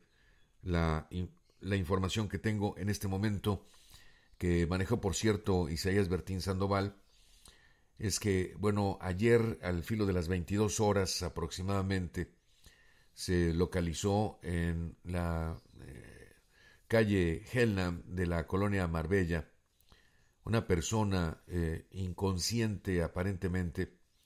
Llegaron las unidades de la Cruz Roja y se ubicó en el sótano de una vivienda.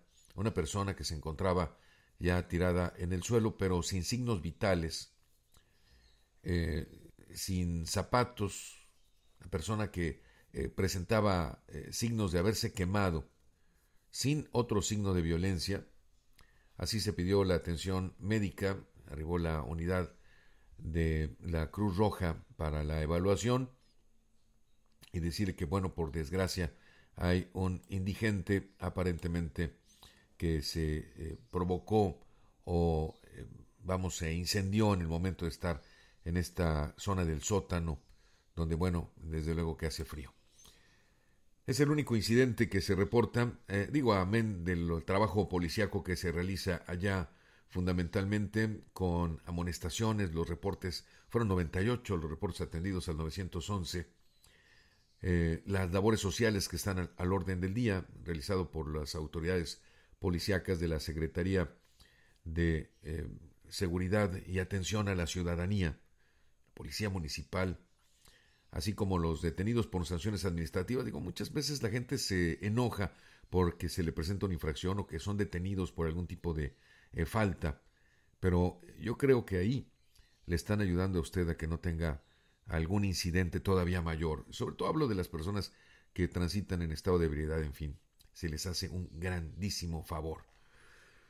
Vamos a continuar con información, decirle que en este momento, eh, dentro de la conferencia que ofrece el señor gobernador, hay la atención sobre todo de temas relacionados con la Comisión Estatal de Servicios Públicos y temas que usted le ha presentado eh, como queja fundamental y la atención de la misma. Vamos a oírlo.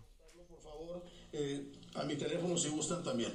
Aquí el señor Karim Armando Soto eh, fue otra de, los, de las quejas. Buenos días, seguimos con la fuga. Ya van ocho meses de la fuga de agua potable en Colinas de la Presa. Solo vino la CESP, rompió el pavimento y dejó el trabajo inconcluso. Y sigue tirando agua. Señor Héctor, ocupamos apoyo. Pues me dirijo hacia allá, llego al punto, tomo las fotos. El joven no me había contestado, me retiro y me dice, no, ahí no es. ¿Cómo le digo?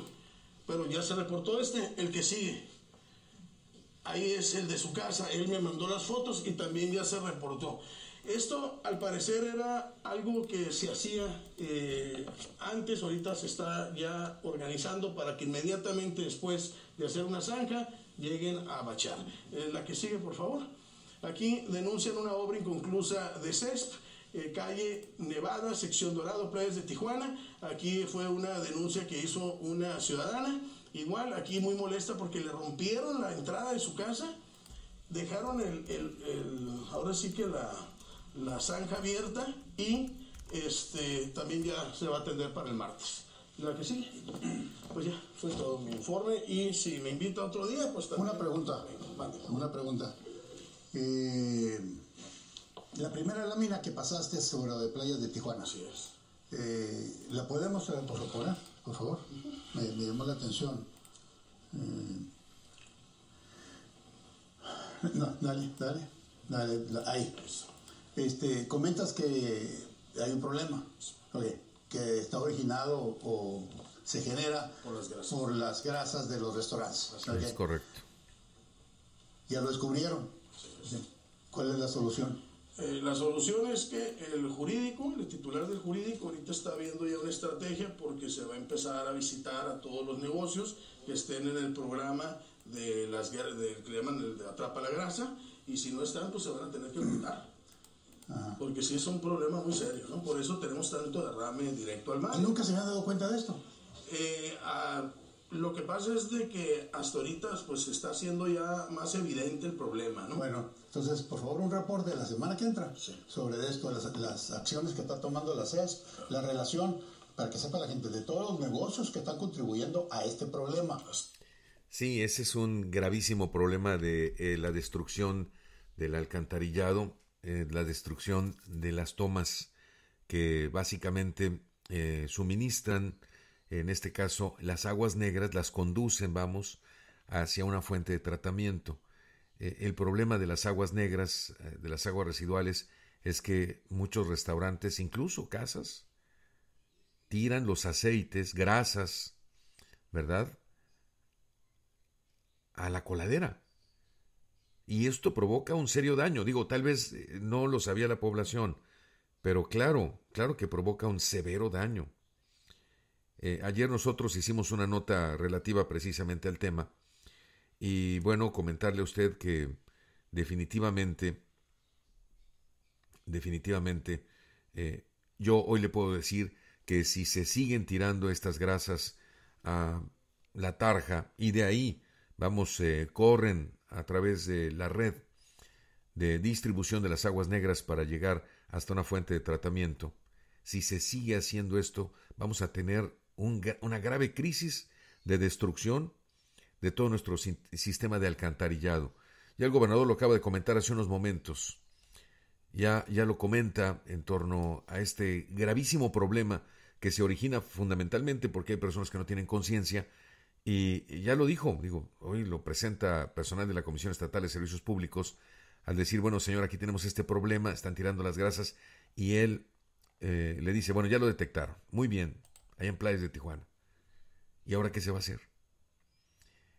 Pero es que fundamentalmente, digo, eh, aquellos negocios que están conectados al drenaje deben tener una fuerte sanción. Digo, las imágenes que le presentamos a usted en nuestro medio de comunicación cuando preguntamos, ¿quién tapa los drenajes de la ciudad y los descompone?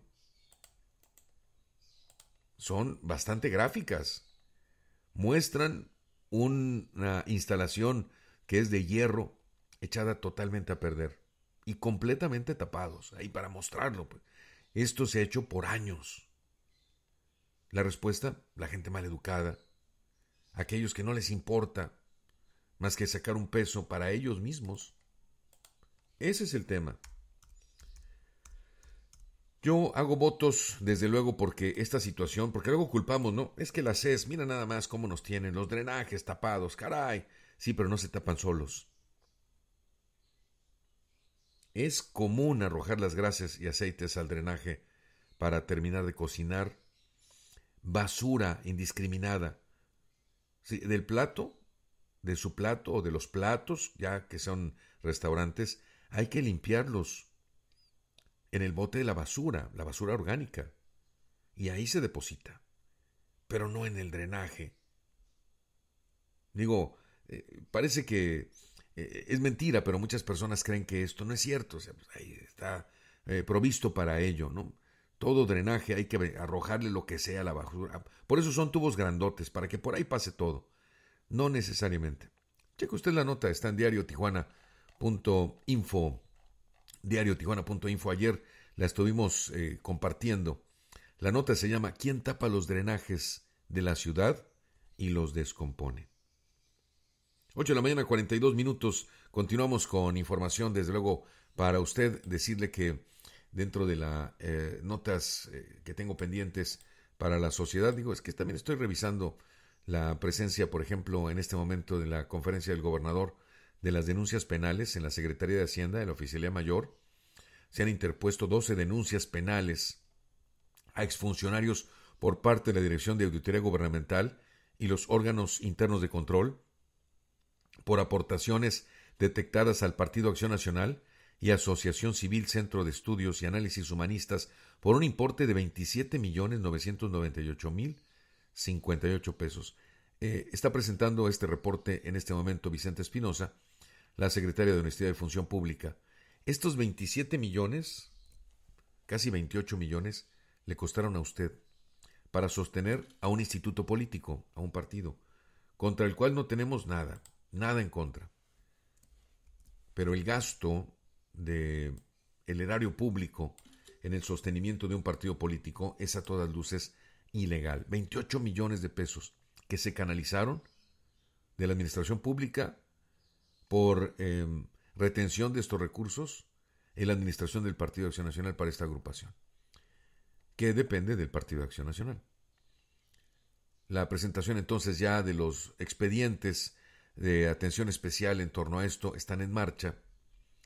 Y bueno, estas retenciones ilegales del 2% que generaron beneficios económicos a cambio de otorgamiento de plazas, todo un tema de corrupción. Ahí está entonces eh, puesto a consideración de la comunidad.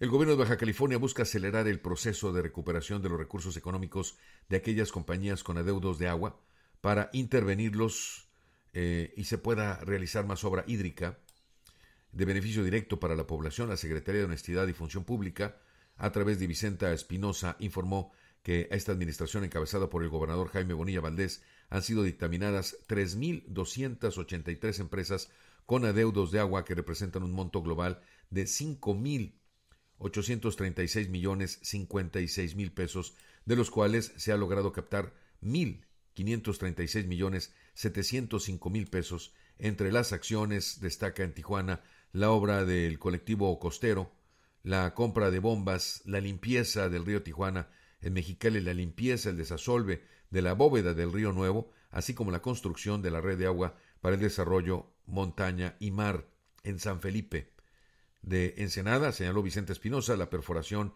y el equipamiento de pozos en el poblado de Villa de Jesús María y el suministro a la instalación de tubería en diferentes colonias y localidades y la reivindicación, renivelación de la línea de conducción de agua potable del tanque Valle Dorado en la prolongación Certruche.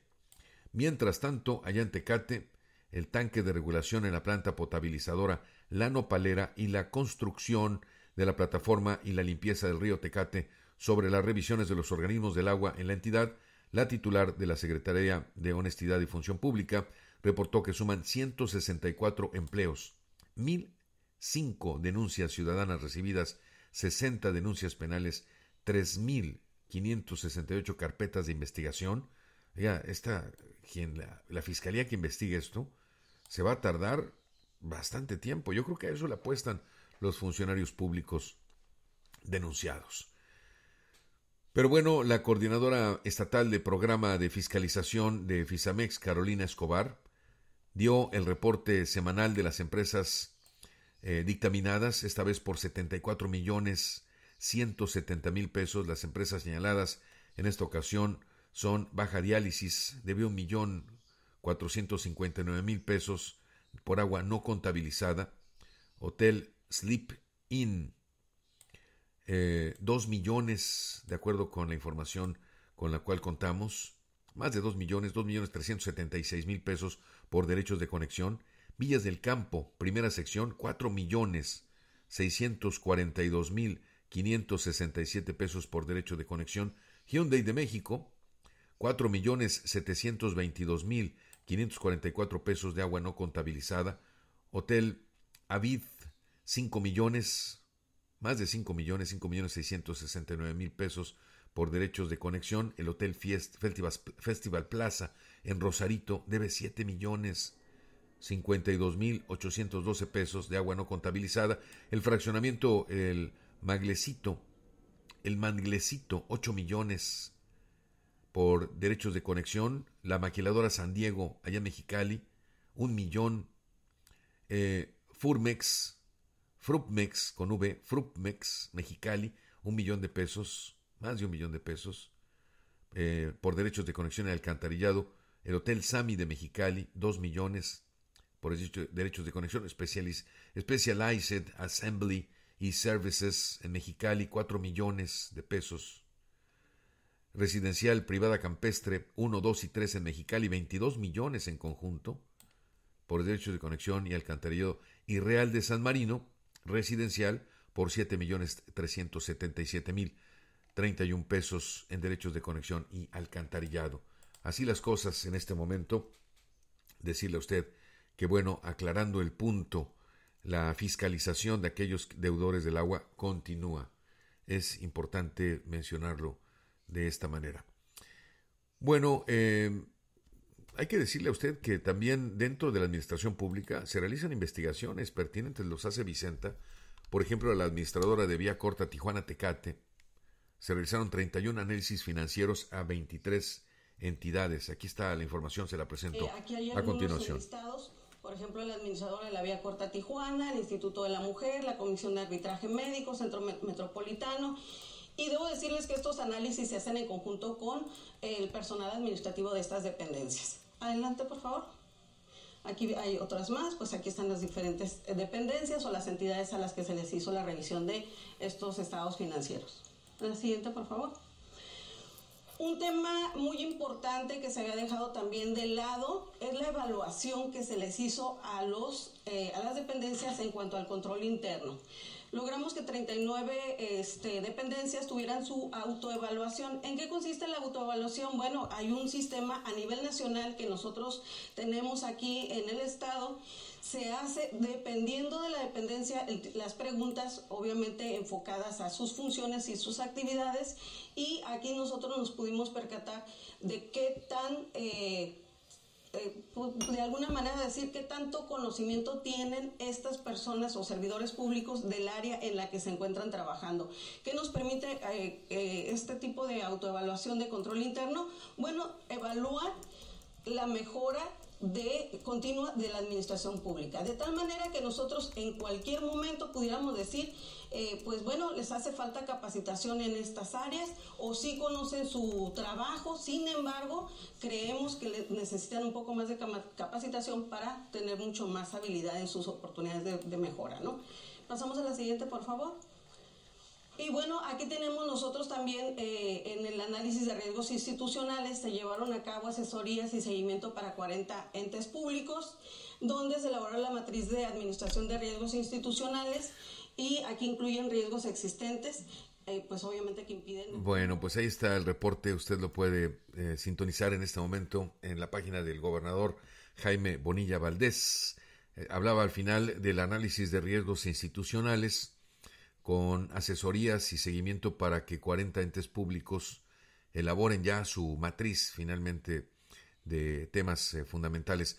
Eh, también decirle a usted que, bueno, se hicieron pruebas toxicológicas para los titulares de las dependencias y entidades de la Administración Pública en las oficinas del Centro de Evaluación y Control de Confianza C3 y algunos laboratorios privados también a fin de contar eh, fundamentalmente con la evaluación de cómo se encuentra la comunidad en este sentido, cómo se encuentra la población. 8 de la mañana con 51 minutos. Eh, la población de, vamos, estoy hablando de la población, pero de funcionarios públicos. Ese grupo eh, de funcionarios públicos, que también son población, por cierto. Así, entonces, eh, comentarle que la Secretaría de la Honestidad y Función Pública realizó ya la investigación en campo y revisión de documentos del proyecto de obra liderado por la Secretaría de Integración y Bienestar Social, la CISPO, referente a la construcción de una cancha de usos múltiples en la colonia Huertas del Colorado. Allá en Mexicali, la titular Vicenta Espinosa explicó que la obra se encuentra concluida, ejecutada en un total de los trabajos contratados y sin detectarse elementos relacionados con observaciones por concepto de mal eh, ejecución. Eh, esto es algo importante, desde luego. Qué bueno que, que se realice eh, después de eso una verificación, una auditoría. La diputada presidenta de la Comisión de Salud, Montserrat Caballero, sostuvo una reunión con representantes del Sindicato Nacional de Trabajadores del Seguro Social, esto atendiendo el llamado como parte de su trabajo de agenda legislativa y acercamiento ciudadano por la 23 legislatura, al ser también presidenta de la Junta de Coordinación Política, en la reunión la diputada Caballero Ramírez dejó en claro las intenciones de trabajar hombro con hombro y velar por los intereses del personal sanitario de nuestra entidad, cuya importancia en la sociedad ha quedado más que evidente tras la contingencia eh, vivida por COVID-19. Vamos a la línea telefónica. Está con nosotros, eh, entiendo, Rica Alcora, sí, con mucho gusto. ¿Cómo estamos, Rica? Muy buenos días. Adelante. Muy buenos días, maestro. Como decía mi papá, con un, ojo al gato y otro al garabato. Claro, exactamente. Están al pendiente de lo que sucede en nuestro entorno ciudadano. Sí, Rica. y escuchándolo a usted. Muchas gracias. Con su nota. Maestro, este, bendiciones antes que otra cosa. Buen día. Este, saludos a todos los radioescuchas. Oiga, yo yo quisiera, ojalá y, algún día nos, nos contestara, al menos a mí como, como consumidor de, de este líquido tan vital como el agua. Eh, el servicio, servicio, digo, el Servicio Estatal de Servicios Públicos del Agua, cuando un, un ciudadano mortal normal, como un servidor, se atrasa con un pago cierto periodo eh, o cierto tiempo, nos, nos llegan los de campo, los empleados de campo y nos ponen un reductor. Antes cortaban el agua, ahora ponen un reductor. Yo no he escuchado eh, en los informes del gobernador que, mencionen eso, que deben millones, millones de pesos y solo, solo me, qué bueno que está haciendo esa acción de, de sacar a flote toda e, e, esta corruptela que existía anteriormente, que ojalá ya se acabe al 100%, que, este, que digan que están por lo menos reduciéndole el consumo de agua. Entiendo que es, es necesario y vital, pero para obligarlos a que paguen en tiempo y forma. Claro. Rica, dame un segundito. Mira, va a contestar el gobernador un tema relacionado con una caravana a favor de Julián Leizaola. Eh, se está convocando a una caravana.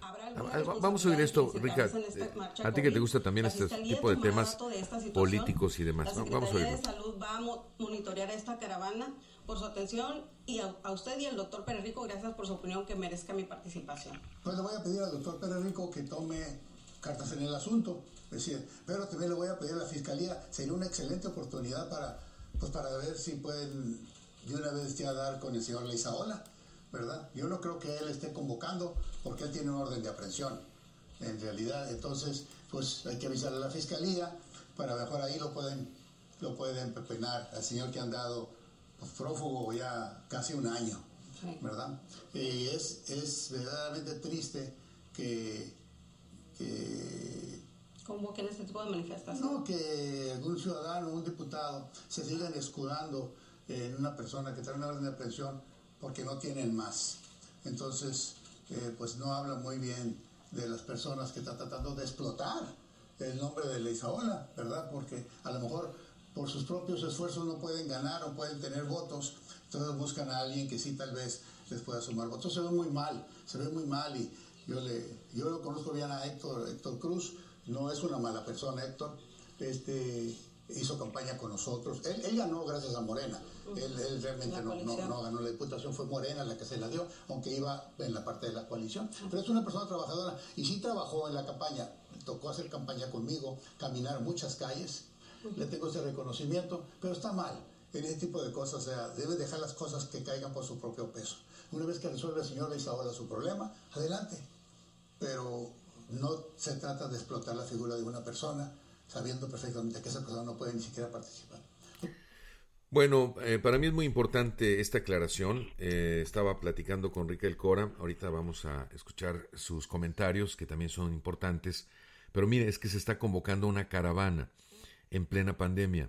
Eh, ya se han convocado otras caravanas. Sin embargo, estamos prácticamente a punto de salir y cambiar de coloración.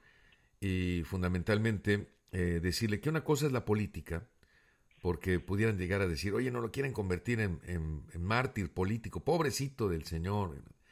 Si yo digo esto y lo dijera eh, no en un, en un tono, eh, eh, vamos, como el que lo acabo de hacer en este momento, pues obviamente que las familias, las familias de los policías que fueron torturados, yo, yo no dudo que en algún momento determinado algún elemento o algunos elementos hayan cometido algún error, incluso no solamente un error, una falta o un delito, y un delito mayor.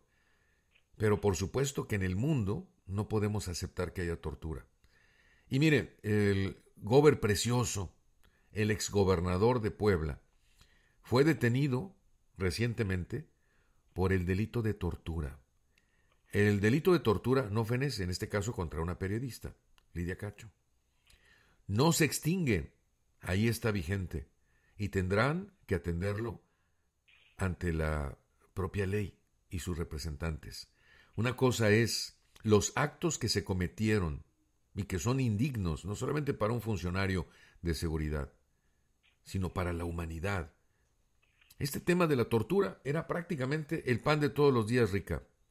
En la eh, fiscalía, bueno, no, no fiscalía, en la procuraduría, en la policía judicial del Estado, en la policía municipal, en las policías municipales, en los Estados Unidos incluso. Y eso lo tenemos que combatir todos. Bueno, estoy a unos minutos de terminar el programa. Escuchamos y que rondees tu comentario, Rica. Adelante, por favor. Pues bueno, maestro, este, agregándole eso, qué triste que, que las personas que están convocando esto, primero le echan la culpa al presidente de que la enfermedad que está ahorita es culpa del presidente y ahora convocan a, a, unas reuniones masivas, pues que qué absurdo, ¿verdad? Y, y finalizándolo de ese tema, yo tuve mala experiencia con, con ese señor Leizaola como ciudadano, amenaza, amenaza, este, incluso de, no, no de muerte, pero sí de darme, propinarme un, un, recordatorio por intervenir por unos, unos ciudadanos turistas brasileños. Entonces, y ya para finalizar, maestro, pues invitar a toda la ciudadanía que, que nos apoyen a los panaderos, que andamos por las calles, que brindamos lo mejor de nosotros para que puedan tener en su hogar un pan rico y delicioso y que si les ofrecemos un producto con un precio un precio acorde a lo que ofrecemos pues que no no denigren con nuestro trabajo que no crean que vamos a venderles algo por quererles robar si nosotros les damos un precio es porque es de acuerdo a lo que nosotros invertimos y todavía hacemos el esfuerzo para llevárselos a la puerta de su casa lo hacemos con mucho amor los panaderos en, en especial un servidor nuestro pues yo agradecidísimo y desde luego a respetar esta profesión que nos da de comer a muchos. Y yo bendigo tus manos, Rica, eh, y las manos de todos aquellos que hacen eh, el pan de todos los días para nosotros, el pan, el alimento para comer. Te mando un abrazo y te agradezco muchísimo. Gracias, Rica. Nuestras bendiciones. Algún día este, lo podré este, hacer en presencia de usted aquí en su humilde casa. Ya quedamos, claro que sí. Gracias, Rica. Gracias y muy buenos días. Nos despedimos entonces con Tintán. Muchísimas gracias, queridos amigos. Les mando un abrazo. Gracias, Julio. Nos despedimos con nuestra frase de siempre. Que viva el pan dulce. ¿Qué pasó, marchantita? ¿Vos te o no? Voy, que me estoy peinando. Ándele pues, marchantita. Tome, le traigo corbatas, volcanes, piedras, viudas, rejas. Un abrazo, ¿no? ¿Y los cuernos? ¿Qué pasó? Ay, no se va a poder, marchantita. Panadero se va, panadero se va, panadero se va, panadero se va.